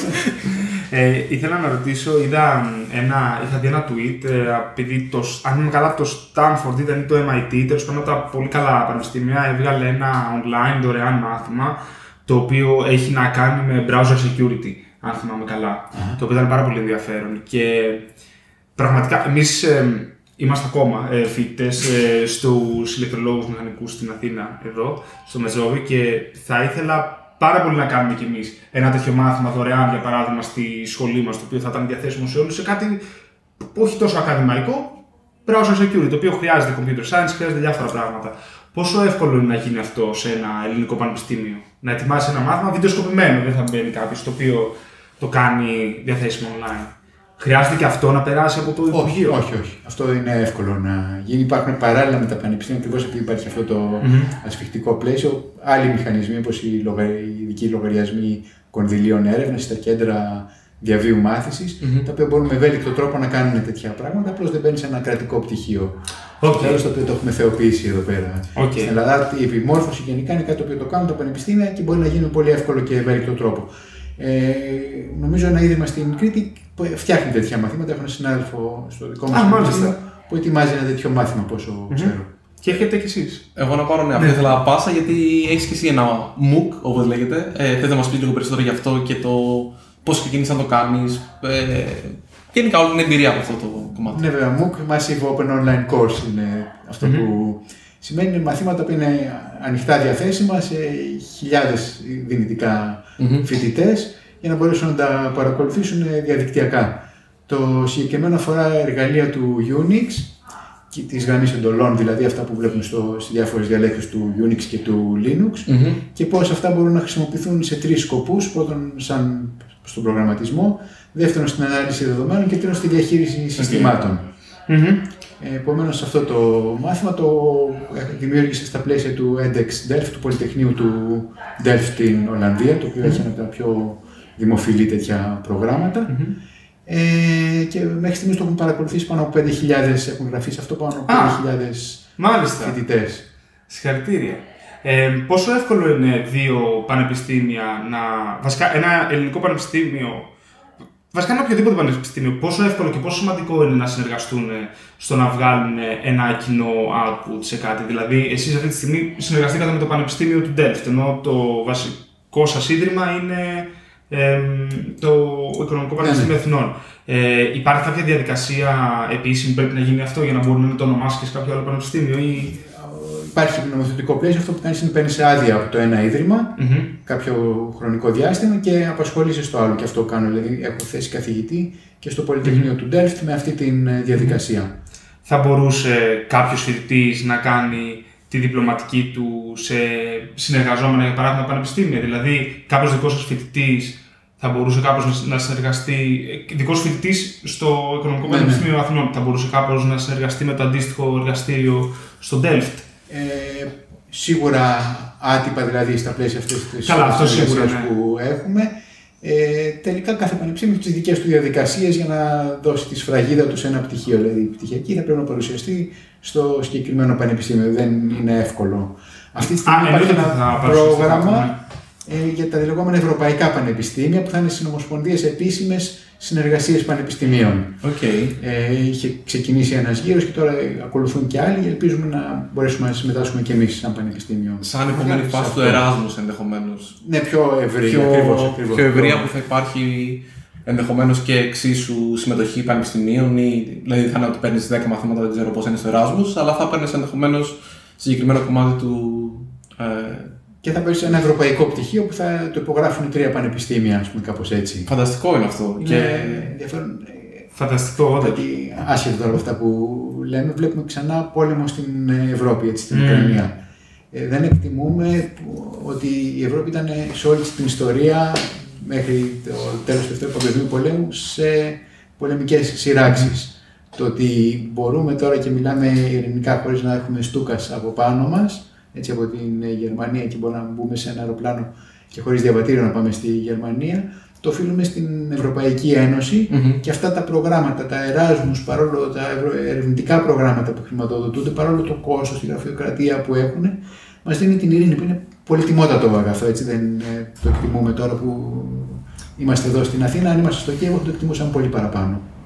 Ε, ισχύει και ήθελα να πω ότι είχε τύχει να μιλήσω με έναν ε, παππούς μου, ήταν ένας από το χωριό, δεν ξέρω ακριβώς τη σχέση είχαν, αλλά πιο μεγάλο και συζητούσε και έλεγε ότι ε, οι νεότεροι τυχαίνει να μιλάνε πολύ πιο εύκολα για τον πόλεμο από αυτούς οι οποίοι το έχουν ζήσει αυτό στο παρελθόν και μπορεί να έχει να κάνει και με το ότι το θεωρούμε και εμείς, δεδομένου ότι γεννηθήκαμε σε ειρήνη και δεν θα έρθει ε, από πάνω. Οπότε αυτό το οποίο θα κέρδιζε ένας φοιτητής από ένα τέτοιο πρόγραμμα είναι ότι θα μπορούσε να, ε, να φοιτήσει σε. Να έχει δύο- περισσότερη ναι, ναι, μετακίνηση. Επίσης, συνεργασία των πανεπιστήμιων υπάρχει στα διάφορα ερευνητικά έργα, στο οποίο το συνηθισμένο και αυτό επιβάλλεται από την Ευρωπαϊκή Ένωση σε ορισμένους τομείς, είναι να συνεργάζονται ιδρύματα και εταιρείες από όλη την Ευρώπη. Μμμ. Έχει γραφειοκρατικό κόστος, αλλά έχει το αποτέλεσμα ότι δεν πολεμάνε μεταξύ μας με ξυφολόγες, Έτσι, Ναι, Αν ναι, δεν το είσαι με τον συζητάμε. άλλο και τρως μαζί του, είναι πιο δύσκολο να φανατιστείς και να πεις ότι θα πάω να τον πολεμήσω. Μμμ. Είναι, είναι όντως πάρα πολύ σημαντικό και ίσως ε, αυτό ξεκινήσαμε με κάποια δεδομένα στο μυαλό μας, ειδικά η γενιά η δικιά μας που είναι πολύ μακριά από εμάς οτιδήποτε πολεμικό. Ε, ίσως γι' αυτό το μυαλό μας δεν μπορεί να συλλάβει. Δηλαδή, το πόλεμο στην Ευρώπη, εγώ προσωπικά δεν μπορούσα καν να τον συνειδητοποιήσω. Δηλαδή, μου ήταν πολύ δύσκολο να το, να, να το επεξεργαστώ. Ε, θέλω να πάω λίγο, λίγο πίσω και να πω ότι σε όλα αυτά τα πολύ ενδιαφέροντα που κάνει το δικό σου εργαστήριο και άλλα εργαστήρια ή το πανεπιστήμιο σαν, σαν σύνολο, πώς θα μπορούσε ένας εξωτερικός παράγοντας, μια εταιρεία ή άτομα τα οποία είναι εκτός του πανεπιστημίου να συνεισφέρουν και να βοηθήσουν ώστε να συνολικά να βελτιωθεί και, το, και οι, αποφο, οι απόφοιτοι που βγαίνουν ενδεχομένως να βρίσκουν πιο εύκολα δουλειά ή να βρίσκουν καλύτερες δουλειές ή να είναι πιο έτοιμοι ή οτιδήποτε άλλο ε, κοντά σε Ωραία, αυτό. πώς μπορούν να έρθουν καλύτερα και Ναι. καλύτερα τα- οι εταιρείες με τα πανεπιστήμια. Γιατί στο εξωτερικό αυτό είναι κάτι το οποίο συμβαίνει σε αρκετά μεγαλύτερο βαθμό από ό,τι συμβαίνει στην Ελλάδα. Ε, Και στην Ελλάδα ε, όλο και περισσότερο Μμμ. γίνεται. Ένας εύκολος τρόπος είναι το πρόγραμμα πρακτικής άσκησης, το Μμμ. οποίο στο τμήμα μας είναι, είναι υποχρεωτικό, όπου φοιτητές για ένα εξάμεινο δουλεύουν σε μια εταιρεία και μάλιστα έχουμε δει ότι συνήθως η συνεργασία είναι τόσο καλή που ένα μεγάλο ποσοστό πάνω από 80% στη συνέχεια τους γίνεται και προσφορά να συνεχίσουν να δουλεύουν εκεί μετά την αποφύτισή τους. Μμμ. Όντω είναι ο πιο εύκολος τρόπος μια εταιρεία να ενταχθεί σε αυτό το πρόγραμμα και να φιλοξενεί φοιτητές στα πλαίσια αυτού για το εξάμεινο και γιατί όχι και αργότερα. Ένα άλλο ενδιαφέρον, ε, σ- ένας άλλος ενδιαφέρον τρόπο που θεσπίστηκε πρόσφατα, πριν από δύο εβδομάδες, είναι τα λεγόμενα βιομηχανικά διδακτορικά. Μμμ. Τι είναι αυτά, μπορεί μια εταιρεία να πει ότι έχω αυτό το ερευνητικό πρόβλημα το οποίο θέλω να λύσω. Τα προγράμματά μας τρέχουν πάρα πολύ αργά ε, ή έχουμε συνέχεια σφάλματα τα οποία δεν ξέρουμε πώς να τα διορθώσουμε και έχουμε καταραίει ο κώδικας κάθε λίγο και λιγάκι. Και πιστεύουμε ότι αυτό μπορεί ερευνητικά να διορθωθεί, να μας δώσει ένα πανεπιστήμιο να δουλέψει σε αυτό και να βγάλει μια λύση. Επομένως, συνεργάζεται το πανεπιστήμιο με την εταιρεία να φτιαχτεί ένα ερευνητικό πρόγραμμα που θα καταλήξει τελικά σε ένα διδακτορικό ένας ερευνητής ε, με βάση αυτό το ερώτημα. Άρα αντί να ψάχνει κάποιος, α, με τι μπορεί να έχει νόημα να, να ασχοληθώ, να έχει κάποιο πρόβλημα το οποίο Η όντως εταιρεία να έχει- δίνει το πρόβλημα, το πανεπιστήμιο βάζει την ε, έρευνα και στα πλαίσια αυτό βγαίνει και ένα- ένα διδακτορικό. Φανταστείτε. Μετά. Πράγμα το οποίο νομίζω γινόταν. Και πολλά εγώ, χρόνια, ναι, έτσι. νομίζω. Αλλά είπαμε, είναι δύο εβδομάδες νόμος αυτός. Ναι, ε. ναι. Μάλιστα, πολύ, πολύ καλό. Ε, είναι, ναι. σημαντικό. από την εταιρεία ε, που θα το κάνει αυτό προποθέτει ότι θα δεσμευτεί για ένα διάστημα τριών-τεσσάρων χρόνων που χρειάζεται για να βγει ένα διδακτορικό, να επενδύσει σε αυτό, γιατί πρέπει ο ερευνητής αυτός να αμείβεται Μμμ. ε, από την εταιρεία πιθανώς. Οπότε έχει ένα Ναι, κόστος να και να έχει θέλει. σοβαρό αντι- ερευνητικό αντικείμενο το οποίο θα ωφελήσει την εταιρεία μετά. Θα καινοτομήσει να βγει μπροστά σε σχέση με τον ανταγωνισμό. Νομίζω ότι αυτό γινόταν ανεπίσημα. Δηλαδή γνωρίζω ότι οι εταιρείες προτείνανε διδακτορικά, αλλά τώρα έχουν και κάποιο. Προσπαθώ να βρω την ελληνική λέξη. Θεσμικό πλαίσιο. Ε, skin in the game, δηλαδή ότι πρέπει Α, να, να α, βάλουν το χρήμα, α. πρέπει να επενδύσουν, να, να δώσουν χρήμα, το οποίο δεν νομίζω ότι δεν θα είχαν τον, ε, τη θέληση να το κάνουν, αλλά δεν έχουν τον τρόπο σίγουρα να το κάνουν. Οπότε είναι πάρα Ναι, πολύ σημαντικό σωστά, νομίζω. σωστά. Ε, ή βρίσκανε τρόπους παράπλευρους τύπου να τον προσλάβουν το, το άτομο αυτό εξωτερικά, χω- ανεπίσημα να το προσλάβουν ώστε να μπορέσουν να το χρηματοδοτούν Ναι. ή να βρουν κάποιο τρόπο να χρηματοδοτούν το εργαστήριο το ίδιο, το οποίο νομίζω είναι ακόμα πιο δύσκολο το να πάρει λεφτά με μη ευρωπαϊκά όσο το πανεπιστήμιο. Όχι, και δεν είναι Α, δύσκολο. οκ. Είναι αυτό το οι ειδικοί λογαριασμοί κονδύλιων έρευνας που λέω μπορούν να κάνουν συμβάσεις με εταιρείες για να κάνουν ερευνητικό έργο. Α, μάλιστα. Ε, ήθελα να πω, μιας και μιλάμε για έρευνα, παρακολουθώ, παρακολουθώ ένα podcast ενός ερευνητή, λέγεται Lex Friedman, αυτός, ο οποίος ήταν, έκανε ασχολούνται με deep learning στο MIT. Αχα. Και ένα από τα πράγματα τα οποία σχολίασε τελευταία είναι τη σημασία του open access στα α, άρθρα τα ερευνητικά. Και αυτό το οποίο σχολίαζε είναι ότι ερευνητές ε, που δουλεύουν στα πανεπιστήμια παράγουν κάποιες πιθανές δημοσιεύσεις, τις οποίες τις κάνουν ε, submit στα διάφορα journals, στα περιοδικά. Υπάρχουν reviewers, οι οποίοι κάνουν review ε, αυτές ε, τις υποβολές ε, για να δουν αν θα βγει και εν τέλει αυτό ε, βγαίνει, αλλά δεν είναι... Οι οι reviewers κάνουν τη δουλειά δωρεάν, Οι συγγραφείς την κάνουν δωρεάν. οι συγγραφείς την κάνουν δωρεάν και εν τέλει παίρνει τις συνδρομές στο περιοδικό. Και κάπου είδα, δεν θυμάμαι ποιο είναι το, ε, μια συγκεκριμένη έκδοση του Nature θέλει για παράδειγμα να πληρώσει ο ίδιος ο ερευνητής 11.000 δολάρια για να βγει open access. Νομίζω το, Ναι. Εμ, τι πιστεύετε γύρω από αυτό, Γιατί εγώ προσωπικά δεν είμαι ερευνητής, μιλάω με κάποιους ερευνητές, αλλά είναι πιθανό να υπάρχει κάτι εκεί το οποίο εγώ δεν, δεν καταλαβαίνω. Εμ, Όχι, Υπάρχει θέμα. υπάρχει υπάρχει όντως θέμα Για για ναι. αυτό. Ε, δηλαδή, και να σκεφτούμε ότι και η έρευνα γίνεται με χρήματα των φορολογουμένων. Ναι. Έτσι, επομένως, ε, και τελικά κλειδώνεται ή κλειδωνόταν, γιατί αυτό αλλάζει σιγά σιγά, ε, πίσω από ένα φράχτη που βάζουν κάποιοι εκδοτικοί οίκοι. Ε, να πω όμως ότι αυτό το μοντέλο ε, τρι, γεμίζει τρύπες λίγο-λίγο, δηλαδή πολλά οργανισμοί που χρηματοδοτούν έρευνα λένε ότι πρέπει όλες οι δημοσιεύσεις να είναι ανοιχτές open access. Μμμ, οκ. Εντάξει, επομένως υπάρχει αυτό. Πολλοί εκδοτικοί κατάλαβαν ότι μπορούν να το κάνουν αυτό και λένε σου δίνουμε το δικαίωμα μετά από κάποιο χρόνο ή με χρήση ενός δεσμού ή να τα βάλεις στο δικό σου αποθετήριο να υπάρχει παράλληλα. Μμμ. Ε, και έτσι όλο και περισσότερη γνώση υπάρχει δημόσια διαθέσιμη. Και πιστεύω προς τα εκεί θα πάμε τελικά. Πώς θα μπορούσε να επιβιώσει ένας εκδοτικός οίκος όμως σε ένα τέτοιο μοντέλο που δεν είναι κλειστό, το, κλειστή η δημοσίευση; Δηλαδή, τι είναι αυτό το οποίο μπορεί εν τέλει να, να πουλάει; Παρέχοντας υπηρεσίες οι οποίες να είναι χρήσιμες. Έτσι, Δηλαδή, σε πολλούς τομείς υπάρχουν εταιρείες με πολύ μεγάλο κόστος, ε, το μοντέλο τους, το επιχειρηματικό τους έχει πολύ μεγάλο κόστος, ε, επειδή μπορούν με κάποιο τρόπο να απομυζούν χρήματα από κάτι το οποίο δεν θα έπρεπε κανονικά να το κάνουν. Ε, πιθανώς αυτή μια τέτοια δομή να μην μπορεί να επιβιώσει, αλλά άμα δίνεις μια υπηρεσία η οποία έχει αξία, έτσι να μπορείς λόγω χάρη να βρίσκεις εύκολα τους, αυτούς τους κριτές των άρθρων, να είναι πολύ καλά τα πληροφοριακά συστήματα από πίσω για το πώς ε, κρίνεις, να χρησιμοποιείς είδος κάποιο πληθοπορισμό για να μπορείς να βρίσκεις τα ενδιαφέροντα άρθρα. Υπάρχουν ένα σωρό τρόποι από το να πουλάς ε, προστασία σε άρθρα για να βγάλεις Ναι. ε, χρήματα. Ή μια μεταπεξεργασία ή μεταπληροφορία πάνω στα άρθρα. Γιατί έχεις μια πρωτογενή πληροφορία πάρα πολύ καλή και χρήσιμη και θα μπορούσες να βρεις έναν τρόπο να την αξιοποιήσει καλύτερα και να δίνεις εισαγωγικά με σημαίνει τροφή σε κάποιον ο οποίος θα Ακριβώς. μπορούσε να Ακριβώς. ξεκινήσει από εκεί. Ε, και αντί να το κάνουν ε, οι εκδοτικοί και σε αυτό, πρέπει να πω ότι δεν μπελιάζουν βασιζόμενοι στο μπορώ να παίρνω χρήματα με αυτόν τον ε, τρόπο και το κάνει η Google με το Google Scholar, που είναι ένας πολύ καλύτερος τρόπος να ψάχνει επιστημονικά δεδομένα από ότι οι περισσότερες ψηφιακές βιβλιοθήκες εκδοτικών οίκων. Ε, αν έχει διασφαλισμένα έσοδα, παχαίνεις και τελικά ε, ε, αδρανείς. Ναι, είναι, είναι μεγάλο θέμα. Αλλά δεν επιζείς πολλές φορές.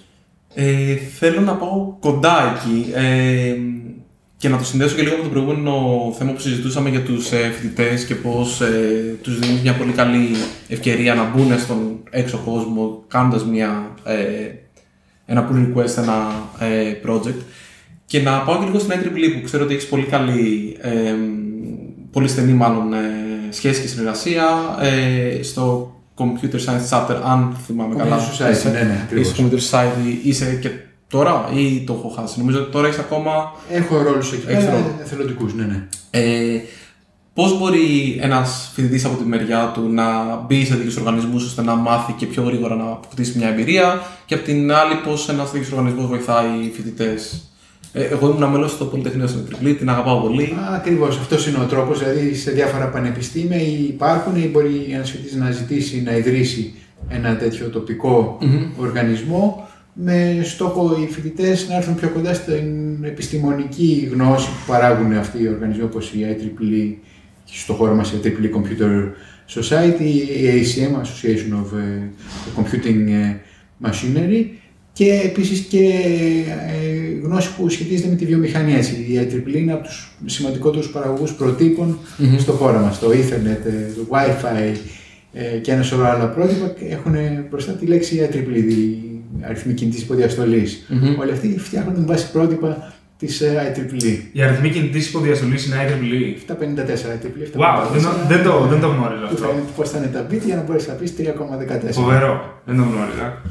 Ε, οπότε, αν. Ωραία, στην περίπτωση που υπάρχει ένα ε, τοπικό κεφάλαιο, αν θυμάμαι καλά έτσι είναι ο Αχα, σωστός όρος, οκ. ε, είναι πολύ εύκολο, μπορείς να το ψάξεις, να βρεις και σιγά σιγά από εκεί πέρα να, να εντρυφήσεις. Πόσο εύκολο είναι ένας φοιτητής να ξεκινήσει ένα τοπικό κεφάλαιο Ναι. επειδή έχει το παραπάνω ας πούμε, μεράκι να το Το, κάνει. το υποστηρίζουν οι οργανισμοί αυτοί, επομένως ψάχνεις τις οδηγίες που δείχνει και σου στέλνουν το υλικό. Θες δύο-τρεις φοιτητέ ακόμα σαν μαγιά για να το ξεκινήσετε. Αλλά είναι πολύ καλό γιατί και μπορείς εύκολα να έχεις ανταλλαγές φοιτητών ε, σε επίπεδο εβδομάδας. Κάτι τέτοιο. Υπάρχουν κάποιες εκδηλώσεις που γίνονται σε άλλα. Μπορείς να βρεις ομιλητές από Ομιλητές. Οπότε υπάρχουν διάφοροι τέτοιοι τρόποι. Το σημαντικό είναι να έρθεις σε επαφή με την επιστημονική δουλειά που Μμμ. γίνεται, το οποίο πρέπει να νομίζω, νομίζω ότι δεν δίνουμε αρκετή έμφαση στον χώρο της βιομηχανίας και χάνουμε από αυτό. Μμμ. Δηλαδή το, την επιστημονική βάση που υπάρχει για αυτά που κάνουμε. Να ρωτήσω κάτι πάνω σε αυτό, γιατί εγώ ε, έχω κάνει ένα ping-pong, έχω αμφιταλαντευτεί στην άποψή μου γύρω από αυτό. Στην- Όταν ε, ενεργά φοιτούσα στο Πολυτεχνείο, εμένα προσωπικά με ενοχλούσε που ε, είναι, εγώ το νιώθω τόσο αποσυνδεδεμένο, ότι- αποσυνδεδεμένη στη σχολή μου με την αγορά εργασίας. Μετά, ξεκινώντας να δουλεύω και περνώντας ο καιρός, κατάλαβα ότι είναι διαφορετικό το ε, ερευνητικό κομμάτι, το πανεπιστημιακό, διαφορετικό το εργασιακό. Δηλαδή, σκεφτόμουν να δεν γίνεται να πάω σχολείο και να μάθω την τελευταία Java, ε, στη, στη σχολή και να μάθω την τελευταία JavaScript. Ε, μετά μου σκέφτηκα, ξέρεις τι, και γιατί όχι. Δηλαδή, αφού έτσι κι αλλιώς μαθαίνεις κάποιες αρχές, ε, γιατί να μην επικαιροποιείται αυτό καθώς περνάει ο καιρός. Ποια είναι η δική σου θέση και τι πιστεύεις ότι μπορεί να το δυσκολεύει αυτό; Η αδρά είναι και τα κίνητρα, έτσι, γιατί ποιο λόγο είναι τα προγράμματα σπουδών και αυτά που διδάσκονται πολλές φορές στα πανεπιστήμια παροχημένα.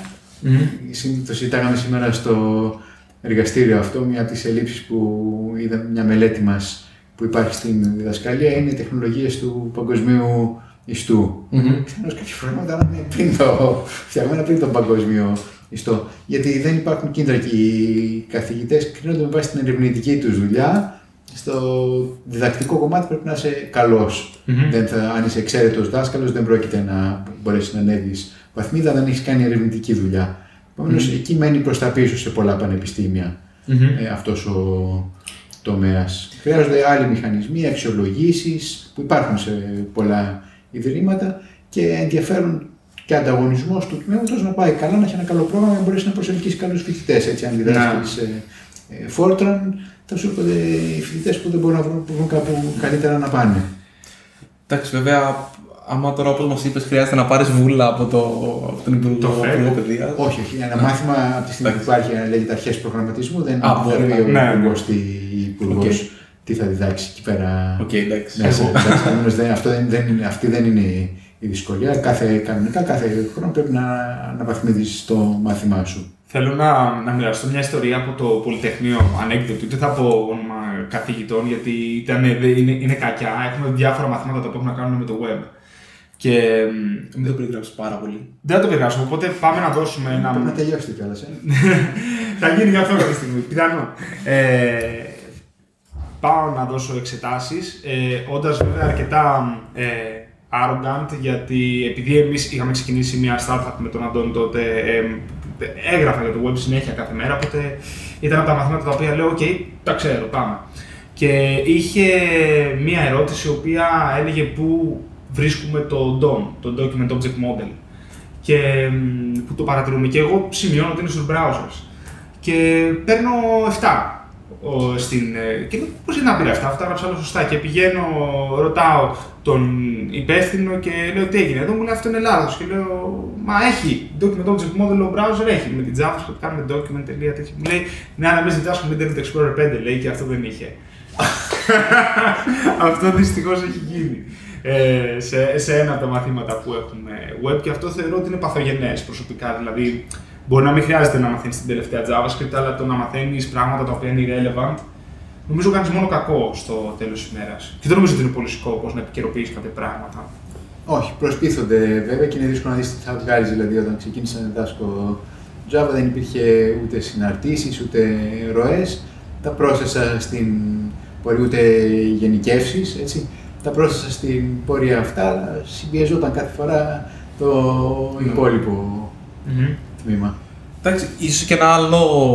Γιατί εντάξει, μην, μην είμαστε αυτόνα τίποτα συνεχώς. Νομίζω ότι στην Ελλάδα είναι πολύ πιο δύσκολο ένας καθηγητής. Δηλαδή, στο εξωτερικό υπάρχουν καθηγητές οι οποίοι μπορεί να έχουν εξάμεινα και αιτία ολόκληρα τα οποία δεν έχουν καθόλου μαθήματα και ασχολούνται μόνο με έρευνα και το, και το αντίστροφο. Δηλαδή, επικεντρώνονται στο μάθημά τους εκείνη τη στιγμή. Ενώ εδώ πέρα είναι ότι είναι λίγο πολυεργαλείο, να το πω έτσι, ένας καθηγητής. Υπάρχει λίγο εδώ αυξημένος διδακτικός φόρτο, πάλι κεντρικά καθορισμένος. Α, μάλιστα. Πόσες ώρες πρέπει να διδάσκεις την εβδομάδα. Μμμ. Αυτό δηλαδή, μιλούσα με έναν ε, φίλο μου που είναι καθηγητής στο, στο Σάρι, αν δεν κάνω λάθος, ε, και μου έκανε παράπονο ότι του βάλανε και δεύτερο μάθημα ενώ είχε υπολογίσει ένα και δεν θα προλάβει να κάνει και την έρευνά του. Γιατί ε, είχε ξεκινήσει, εντάξει, ήταν ερευνητής καθαρά εκείνος, μετά πήγε και γύρισε ως καθηγητής. Και σκεφτόμουν εγώ καθηγητές δικούς μας εδώ που εντάξει, νομίζω είχαν αρκετά μεγαλύτερο όγκο. Ε, Ναι, το τρία μάθημα, τα τρία μαθήματα είναι το ελάχιστο. Ξεκινάς δηλαδή από Τρία- κάτι. Τρία μαθήματα την εβδομάδα. Τρία μαθήματα το, μέσα στη διάρκεια της χρονιάς. Α, τρία, οκ. Νομίζω να Αν μπορεί να έχει δύο και ένα ή τρία μηδέν, Ναι, ναι. φαντάζομαι σαν. Ναι. Το οποίο καταλαβαίνω ότι είναι αρκετά πιο δύσκολο. Δηλαδή, κάνει την καθημερινότητα πιο δύσκολη και αν έχεις τρία μαθήματα, το να τα επικαιροποιήσει όλα, να προλάβεις να κάνεις και την έρευνά σου. Γιατί εντάξει, κακά τα ψέματα θέλεις και να προχωρήσει και σαν ακαδημαϊκός. Έτσι. Ακριβώς. Δεν είναι κανένας που το κάνει μόνο και μόνο σαν α, να κάνει ένα μάθημα. Συν και το διοικητικό έργο που πρέπει να προσφέρεις, το οποίο επίσης τρώει. Και πότε, όλα αυτά πότε γίνονται; Εννοώ στη μέρα μέσα. Ναι, ναι. Προλαβαίνεις. Ε, να πούμε και για το GCs, είπαμε Ε, λίγο. Σίγουρα θέλω να πάμε και εκεί και εντάξει, νομίζω ότι αν τα πιάσουμε όλα τα θέματα που θέλουμε να πιάσουμε, δεν θα σα αφήσουμε να φύγεις, οπότε θα προσπαθήσουμε σιγά σιγά κάπως να τα μαζέψουμε. Ε, εγώ θα ήθελα να μιλήσουμε και λίγο για το, για το ρόλο που είχες στην ε, Γενική Γραμματεία Πληροφορικών Συστημάτων. Ε, το δεν θες να μας πεις αρχικά ποιος, ε, τι είχες κάνει εκεί και μετά έχω πολλές ενδιαφέρουσες ερωτήσεις ε, πάνω σε αυτό. Ωραία, πώς ε, ξεκίνησε αυτό, είχε γίνει μια ανοιχτή πρόσκληση για στελέχη της ε, δημόσιας δίκης σε αυτό το επίπεδο, δηλαδή για γενικούς γραμματείς και εγώ σαν οπαδός της ανοιχτότητας λέω, «Α, να μια καλή ιδέα, έτσι θα πρέπει να γίνεται, όχι με κομματικά κριτήρια, ε, αλλά με ανοιχτό τρόπο να γίνονται Μμμ. οι επιλογές και όντως ε, υπέβαλα την αίτησή μου σε αυτό το περιβάλλον και επιλέχτηκα. Ε, ο στόχος μου τότε ήταν να δω πώς μπορούν να γίνουν υπηρεσίες που να είναι πιο φιλικές στους πολίτες Μμμ. της ηλεκτρονικής διακυβέρνησης. Ε, την πρώτη φορά που βρέθηκα σε αυτό το, στο Υπουργείο Οικονομικών κατάλαβα ότι κάτι δεν πήγαινε καλά, κάτι φωνές και αυτά με σχέση με το έλλειμμα. Οκ. Και λίγο αργότερα έσκασε η βόμβα, ε, η Α. Ελλάδα βγήκε εκτός αγορών και η έμφαση άρχισε να δίδεται στο πώς θα ε, συλλέξουμε έξοδα και- και έσοδα και θα κάνουμε οικονομία επομένως για διαφορετικό ξεκίνησε, αλλά η τεχνολογική πρόκληση που υπήρχε ήταν η ίδια που μπορείς να αναπτύξεις ε, υπηρεσίες με ευέλικτο τρόπο που να διευκολύνουν τους πολίτες. Το, το TaxisNet βέβαια, αν δεν κάνω λάθος, είναι από εκείνη την εποχή.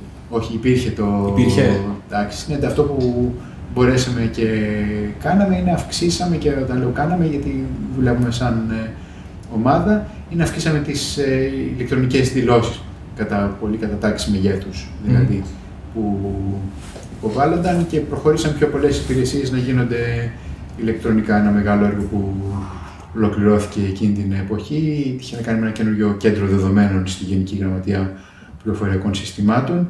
Το σύστημα της κεντρικής πληρωμής των υπαλλήλων του δημοσίου. Μέχρι τότε κάθε ειρηνοδικείο πλήρωνε τους υπαλλήλους του ξεχωριστά. Όλα αυτά ενώθηκαν ε, σε ένα πλαίσιο το οποίο ακόμα υπάρχει την ενιαία αρχή πληρωμής.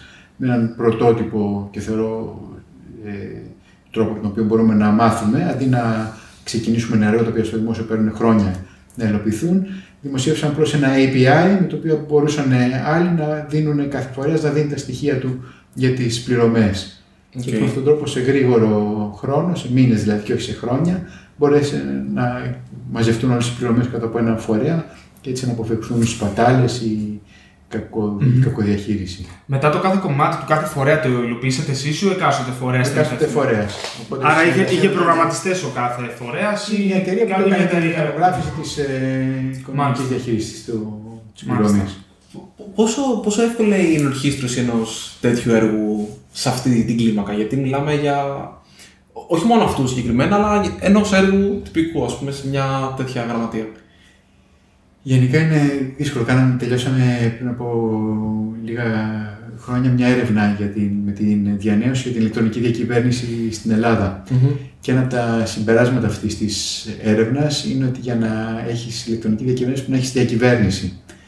Δυστυχώς στην Ελλάδα ο τρόπος με τον οποίο διοικείται το κράτος εσωτερικά δεν είναι ο σύγχρονος, είναι παλαιοληθικό σε πολλούς τομείς. Έχουν γίνει βήματα πρόοδου. Ε, το οποίο δυσκολεύει ειδικά στους χώρους τεχνολογίας, όταν μιλάμε για ευέλικτη ανάπτυξη λογισμικού, έτσι, agile software development και δεν είναι εύκολο να καθορίσει καν τη διοικητική δομή ενός οργανισμού.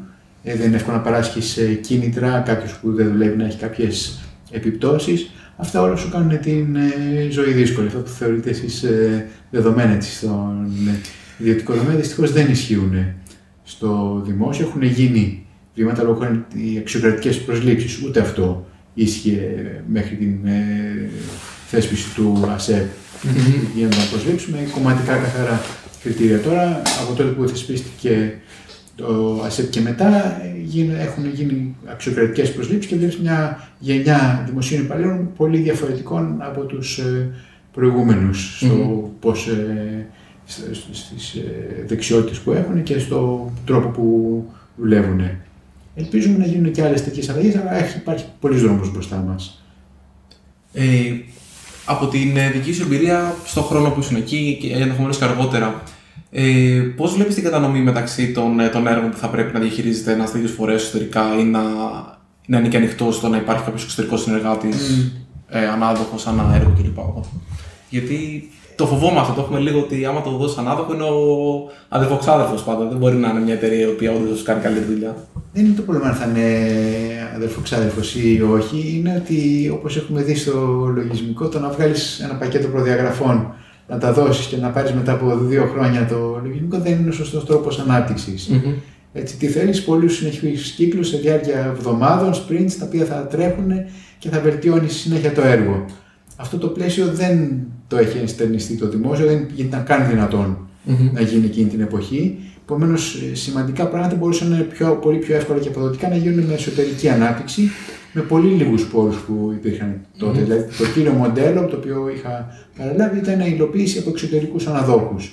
Που μπορεί να δίνανε έργα τα οποία ήταν τεχνικά αξιόπιστα μεν, αλλά δεν είναι τότε πιο φιλικό. Το οποίο το βλέπεις σε όλο τον κόσμο. Έτσι, αν πας να κάνεις μια αίτηση έστα στην Αμερική για να πας, θα δεις ένα σύστημα web 1990 ναι, ναι, ναι. μυρίζει. Το έχουμε κάνει δυστυχώς. Ε, δεν είναι τυχαίο αυτό το πράγμα, έτσι, πόσο μακριά είναι το δημόσιο σε σχέση με τις, ε, το τι παραδίδουν οι εταιρείες.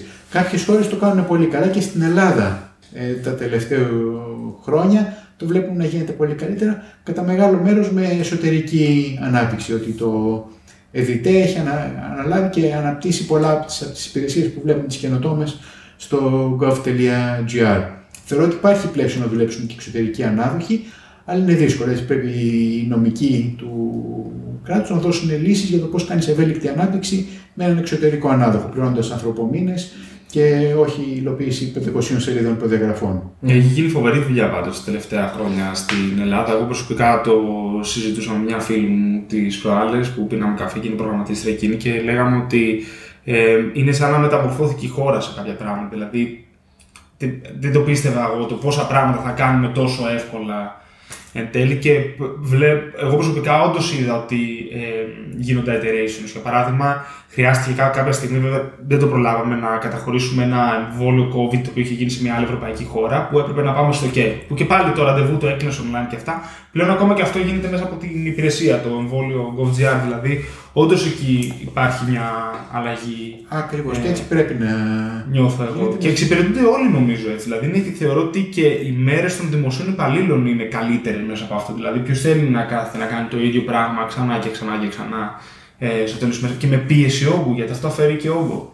Ε, το έλλειμμα που δεν έχουμε εκεί πέρα είναι η αλλαγή των διαδικασιών. Δηλαδή, όπως εξελικτικά κάθε λίγο προστίθενται καινούριε υπηρεσίες, καινούριε δυνατότητες, θα έπρεπε και διαδικασίες οι οποίες ταλαιπωρούν τους πολίτες mm. Ε, κάποιος να λάβει αυτό το είδος το μετασχηματισμό. Mm. Να πει ότι αυτό mm. τα πέντε δικαιολογητικά που χρειάζεται δεν χρειάζονται, φεύγουν. Σχολίαζε ένας άλλος φίλος με τον οποίο ε, μιλάω.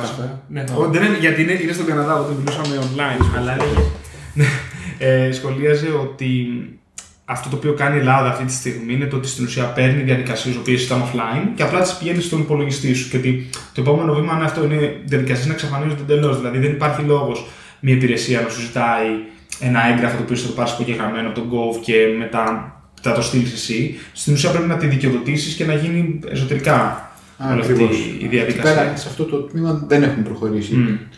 Ε, και χρειάζεται αντίστοιχος αγώνας και αντίστοιχη προσπάθεια πάλι σε στάδια. Ε, ναι. όχι τα μεγάλα έργα, να καταγράψουμε όλες τις διαδικασίες και μετά να δούμε ποιε θα απλοποιήσουμε. Ποια διαδικασία θα απλοποιήσει αυτή την εβδομάδα, ποια την επόμενη.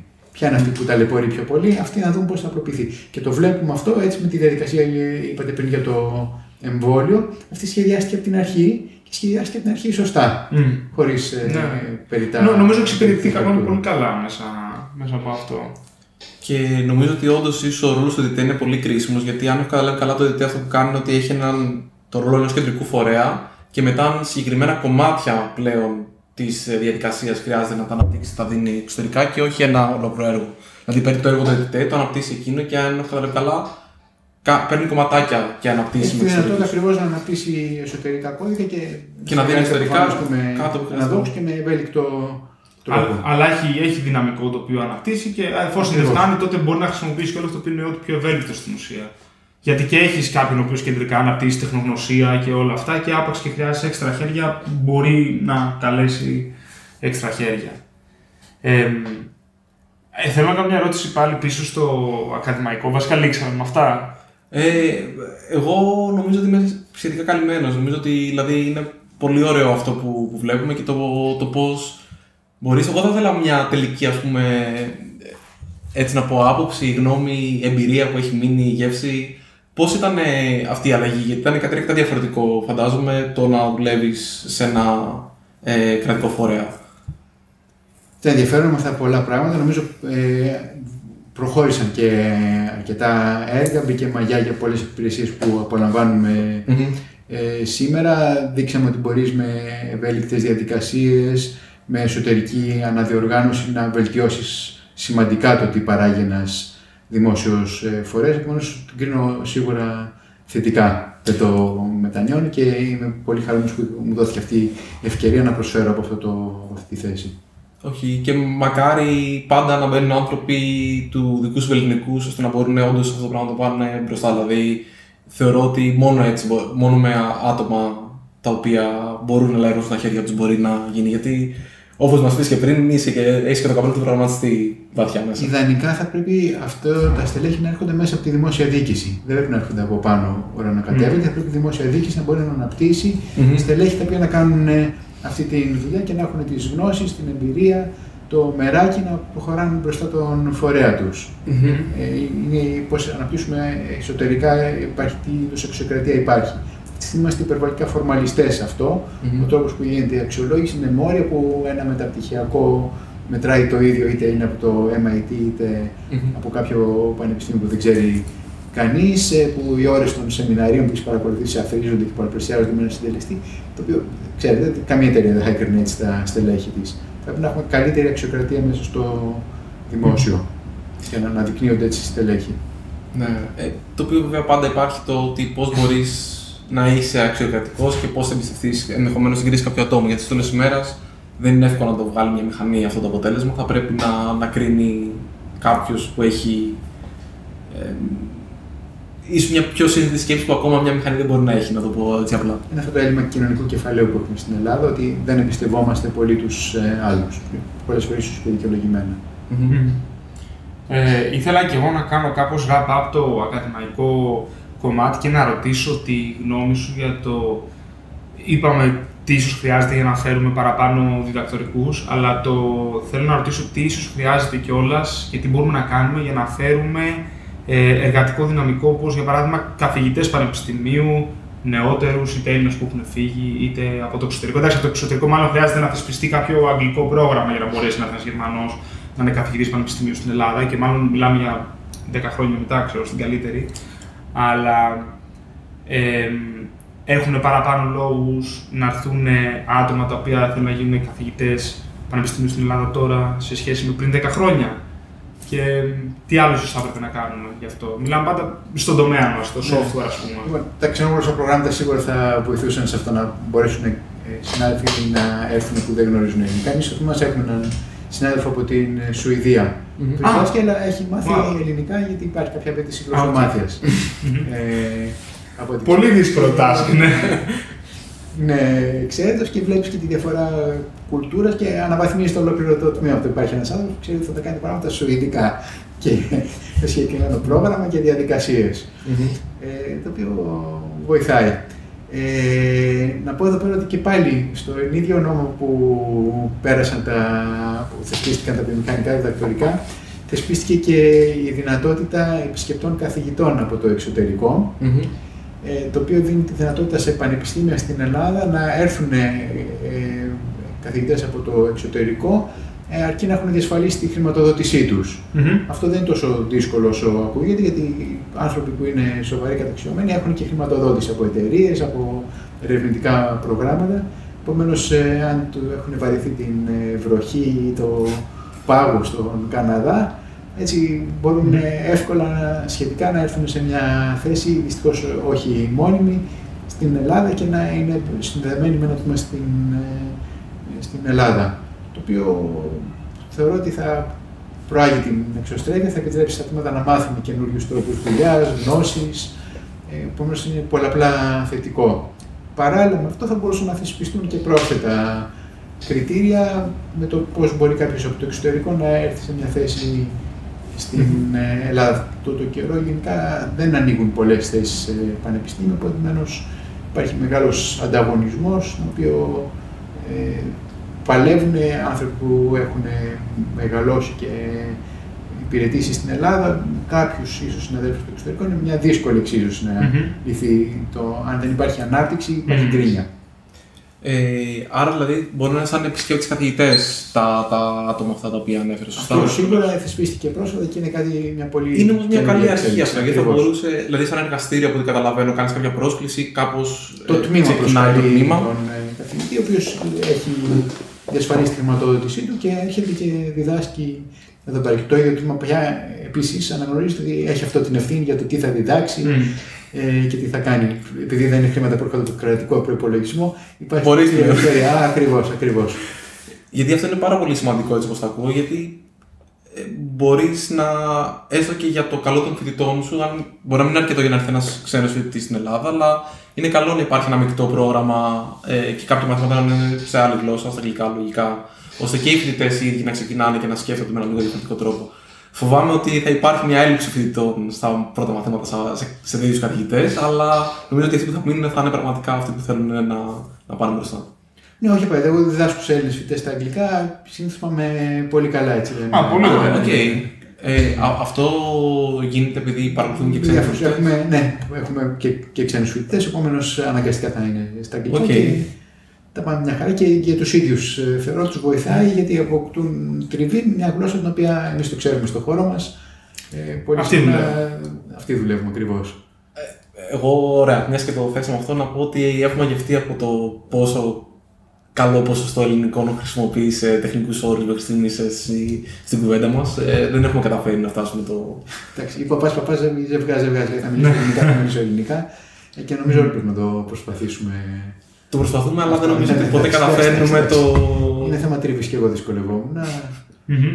Όχι, απλά μου έκανε πάρα πολύ καλή εντύπωση και απλά ήθελα να το αναφέρω μιας και το, και το είπαμε γι' αυτό. Εμένα η τελευταία μου ερώτηση και κλείνω για σήμερα και είναι μια γενικότερη έτσι και πιο ε, γενική φύση χαβαλετζίδικη είναι ποια είναι η αγαπημένη σου γλώσσα προγραμματισμού και γιατί. Δηλαδή, πού χαίρεσαι περισσότερο να γράφεις; Oh.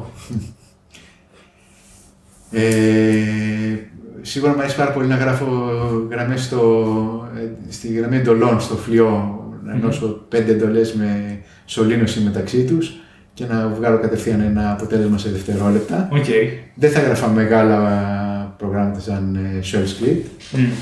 Εντάξει, δεν θεωρώ ότι είναι παραγωγικό αυτό. Ε, τα τελευταία δύο χρόνια έχω έρθει σε επαφή με την JavaScript, η οποία μου έχει αρέσει. Την Python προσπαθώ να την. ξέρω, δεν απαντάω ακριβώς στην ερώτηση. όχι, όχι, απαντάς ακριβώς την ερώτηση. Καλύτερα από την ερώτηση. Την Python την προσπαθώ, γράφω Python, αλλά δεν έχω καταφέρει να την αγαπήσω. Την βρίσκω χρήσιμη, μου κάνει τη δουλειά μου, μου αρέσει που θα βρω τα πακέτα που θέλω, αλλά δεν την έχω έτσι έρθει. Την C++ μου αρέσει πόσο ακονισμένη είναι και θα έχω τη μέγιστη δυνατή απόδοση, αλλά ώρες ώρες θα πάω στο κεφάλι μου ναι, ναι, ναι. τύχω με αυτή και φυσικά τη C είναι η πρώτη μου αγάπη ακριβώς. Ε, είναι, είναι η μόνη γλώσσα που ξέρω ακριβώς τι θα γράψω μια εντολή, τι θα γίνει από κάτω, έτσι σε επίπεδο μηχανής, ε, το οποίο πια στις άλλες γλώσσες το έχω χάσει. Κάποια εποχή, δεκαετία του 80 ήξερα στον υπολογιστή του IBM PC εκείνη την εποχή όλο το, τη στίβα από την γλώσσα προγραμματισμού μέχρι τη μηχανή και το υλικό από κάτω το καταλάβαινα όλο. Ε, με το που βγήκε ο 386, έτσι, ο επεξεργαστής που τώρα έχει εξελιχθεί στη σειρά την πέντε μου, έχασα. Αυτή σταμάτησε πολλά τμήματα της τεχνολογίας μας πια που δεν έχω ιδέα πώς δουλεύουν. Και αυτό είναι κάτι που με στενοχωρεί πια, ότι δεν μπορείς να το κάνεις ε, εντάξει, νομίζω πλέον ε, οριακά δεν μπορείς να γνωρίζεις και αν θα κάνει jump ή όχι, γιατί ακόμα και το αν θα κάνει jump είναι κάτι ε, κλειστό ναι, ναι. το οποίο μια. Ε, αν υποθέσουμε ότι κάποιος φτάνει και χαμηλά, ε, δεν νομίζω ότι ποτέ μπορεί να ξέρει τελικά τι θα, θα συμβεί. Αν είναι μια ωραία αίσθηση να μπορείς να ξέρεις μια ολοκληριστή από τη γλώσσα το λειτουργικό μέχρι το υλικό κάτω και αν καταλαβαίνεις ε, ότι έχεις. Δεν είναι τίποτα μυστήριο μέσα εκεί. Mm-hmm. Εντάξει, και τώρα ναι, βασικά ακόμα και σε γλώσσες οι οποίες θα, θα γίνουν compile μετά τύπου. Ακόμα και η Go έχει δικό της ε, runtime από κάτω το οποίο θα τρέξεις. Δηλαδή, δεν γυρεύει, ναι, ναι, δεν, δεν έχεις ε, εικόνα και στο λειτουργικό μετά από κάτω και τους επεξεργαστές που είναι εξαιρετικά περίπλοκο. Η αρχιτεκτονική, ας πούμε, πρέπει να γνωρίζουν οι φοιτητές μας, όχι όπως συχνά διδάσκεται αρχιτεκτονική υπολογιστών και λογισμικού, αλλά για να μπορούν να καταλάβουν πώς θα γίνεται η απόδοση, πώς, από τι εξαρτάται η απόδοση του μηχανήματος, τι σημαίνει κρυφή μνήμη, ε, τι σημαίνει να φέρεις κάποιο τμήμα από τον δίσκο, τι κόστος έχει αυτό, πώς σε βοηθάει επεξεργαστή κρατώντας αυτά τα κάποια jump να μην γίνονται. Ε, αυτά τα πράγματα είναι στοιχεία που πρέπει να τα ξέρουμε αν θέλουμε να πάμε για τη μέγιστη απόδοση και είναι γνώση που δεν είναι πάντα εύκολο να την έχεις πια. Ε, σίγουρα πρέπει να καταλαβαίνεις και να καταλάβεις τι θα πει φορτώνω κάτι στη μνήμη και το κρατάω εκεί, γιατί να βάλω κάτι στη μνήμη και να διαβάσω το αρχείο. Ε, Πώς ακόμα και αν διαβάσω το αρχείο μπορώ να το κάνω γρήγορο ε, κάνοντας memory από το αρχείο πάνω στη μνήμη. Δηλαδή μπορείς να κάνεις πολλά πράγματα και ναι, σίγουρα δεν είναι πράγματα τα οποία κάθε μέρα μπορείς να, να χρησιμοποιήσεις, αλλά νομίζω ότι καλό είναι να μπορείς να τα καταλάβεις. Γιατί τη μία φορά που θα χρειαστεί, νομίζω εκεί πέρα θα κάνει διαφορά. Ακριβώς. Δηλαδή, αν πας τώρα και κάνεις ένα απλό API σε μια μηχανή και πίσω θα κάνω memory map ένα αρχείο που δεν χρειάζεται, μάλλον το παρακάνεις. Αλλά μια φορά που θα χρειαστείς μια βελτίωση παραπάνω σε ένα σημείο κώδικα το οποίο είναι αργό, νομίζω ότι είναι σημαντικό να το μια βιβλιοθήκη θα το κάνει, αλλά ξέρεις να την ναι. Και να καταλάβεις ότι αυτό θα κάνει αυτό ή το ότι το έκανα memory map μου δίνει αυτά τα καλά και αυτά τα κακά ή αυτά τα προβλήματα και αυτά τα, τα σαμαράκια μπροστά που μπορεί να mm. κοπανίσω. Τι, Προσπαθώ να σταματήσω και δεν μπορώ να μιλάμε. Ναι, ναι, ναι. Να είστε καλά. Είναι ωραίο. Όχι, ε, περνάμε πάρα πολύ ωραία. Ε, εγώ βασικά ωραία θα κάνω μια παύση και θα πω αν εσύ θα ήθελε να αναφέρουμε κάτι από όλα αυτά τα φανταστικά και πάρα πολλά πράγματα τα οποία κάνεις, τα οποία δεν έχουμε ακουμπήσει ενδεχομένως σήμερα. Την ε, σημασία που έχει να συνεισφέρουμε όλοι μας έργα νυχτολογισμικού. Μου αρέσει. Θα έβαζα, μαθαίνεις από αυτά, έρχεσαι σε επαφή με άλλες κοινότητες, μαθαίνεις πρακτικές ε, που δουλεύουν άλλοι. Επομένως, ο καθένας μας μπορεί να βρει ένα έργο που του αρέσει ή που αισθάνεται ότι θέλει να συνεισφέρει και να έρθει σε επαφή με αυτή την κοινότητα και να συνεισφέρει τακτικά σε αυτό ή για κάποιους από εμάς μπορεί να ξεκινήσουμε το δικό μας έργο και να το κάνουμε ανοιχτά διαθέσιμο. Είναι νομίζω κάτι το οποίο, γιατί μιλάμε σε προγραμματιστές, είναι ένας τρόπος να αναπτυχθούμε. 100%. Ε, Καταρχάς, βλέπεις σίγουρα ένα, ένα προϊόν, γιατί στο τέλος της ημέρα ένα προϊόν είναι και αυτό. Έτσι. Απλά είναι ανοιχτού λογισμικού το οποίο χρησιμοποιεί πολλοί κόσμος και καταλαβαίνεις τι θα πει αυτό. Δηλαδή, αντί να κάτσεις να φανταστείς τι θα μπορούσα να κάνω για να είναι χρήσιμο, ας πούμε, να, να μάθω. Θέλω να μάθω μια τεχνολογία, μια γλώσσα, μια οτιδήποτε. Ένας πολύ καλός τρόπος είναι αυτός και πραγματικά φανταστικό το ότι στο, στο μάθημά σου τους βάζει του φοιτητές να πάρουν κάποιους έξτρα πόντους ή δεν κατάλαβα. Ή είναι και μέρο. Αυτή είναι η βαθμολογία. Α, είναι βαθμολογία ολ- ολική, άρα. Wow. Ναι, ναι. Αυτό είναι κάποιες παρουσιάσει Συγχαρητήρια. που κάνουν κατά τη διάρκεια πάλι από έργα ανοιχτού λογισμικού για συγκεκριμένα. Το- Φανταστικό. το οποίο σε βάζει στην αγορά, σε βάζει δηλαδή σε εργαλεία τα οποία αύριο θα χρησιμοποιήσει. Στο GitHub 99% αν ακόμα και αν η εταιρεία δεν το χρησιμοποιεί, θα το ακουμπήσεις κάπου. Δεν υπάρχει περίπτωση να το γλιτώσεις πλέον. Είναι Ναι. κάτι το οποίο ας έχεις ένα profile εκεί πέρα και ας δείχνεις ότι δοκίμασα να κάνω αυτό. Νομίζω ότι και για την αγορά εργασίας είναι πάρα πολύ σημαντικό για σένα, για. Όταν ξεκίνησε ήταν μυστήριο πώς δουλεύουν οι μεγάλες εταιρείες, πώς φτιάχνει λογισμικό η Microsoft ή η IBM που ήταν τότε οι κρατές. Οι εταιρείε αγοράζαν βιβλία και διάβαζες και προσπαθούσες να καταλάβεις ανάμεσα στις γραμμές πώς το κάνουν. Τώρα μπορεί να δεις μέσω του GitHub και του, γενικά του λογισμικού ανοιχτού κώδικα πώς τα πιο απαιτητικά έργα λογισμικού φτιάχνουν και κατασκευάζονται για να το ζήσεις και ζωντανά, γίνοντα μέρος αυτής της κοινότητας. Ε, ωραία, τέλεια. Όχι, νομίζω ότι είναι ένα και πολύ ωραίο έτσι μήνυμα για, να, για το, για το Για το κλείσιμο της ε, σημερινής κουβέντας, την οποία προσωπικά πέρασα υπέροχα. Δεν ξέρω. Ναι, ναι, και εγώ ήταν φανταστικό. Ευχαριστούμε πολύ. Δυσκολευτήκαμε να πετύχουμε τον χρόνο, αλλά τα καταφέραμε και νομίζω. Ναι, το άξιζε. βρήκαμε και νομίζω άξιζε και εγώ. Νομίζω ότι πάντα η υπομονή σε αυτά τα πράγματα άξιζε και ευχαριστούμε και πάλι πάρα πολύ για τον χρόνο. Ε, Πηγαίνοντας τώρα προς το κλείσιμο, ο καθένας από εμάς μπορεί να κάνει μία ή εσύ περισσότερες, μιας και είσαι καλεσμένος προτάσεις. Θα θες να πας πρώτος, τελευταίος; Τελε- τελευταίος. Ε, τελευταίος, Για να τελευταίος. καταλάβω τις προτάσεις. Ναι. Πάρει. Ε, έλα μου, λοιπόν, μιας και συζητούσαμε για open source και όλα αυτά, θέλω να προτείνω ένα open source project που είχα ε, πάθει ένα κόλλημα εγώ πέρυσι το καλοκαίρι και θα ήθελα κάποια στιγμή να συνεισφέρω. Λέγεται Firecracker VM. Είναι ένα virtual machine που έχει φτιάξει η Amazon που στην ουσία τρέχει ε, containers σαν virtual machines τα οποία είναι πάρα, πάρα πολύ light επειδή αυτά είναι για να τρέχουν στο cloud, δεν φορτώνει επάνω devices και έχεις ένα Linux kernel σε 5 MB μνήμη. Εν τέλει, αυτό είναι open source, γραμμένο σε Rust ε, και θα ήθελα να κάνω κάτι με αυτό κάποια στιγμή. Τέλεια. Ε, λοιπόν, εγώ θα, θα πάω σε βιβλίο, αν και δεν ε, είναι το.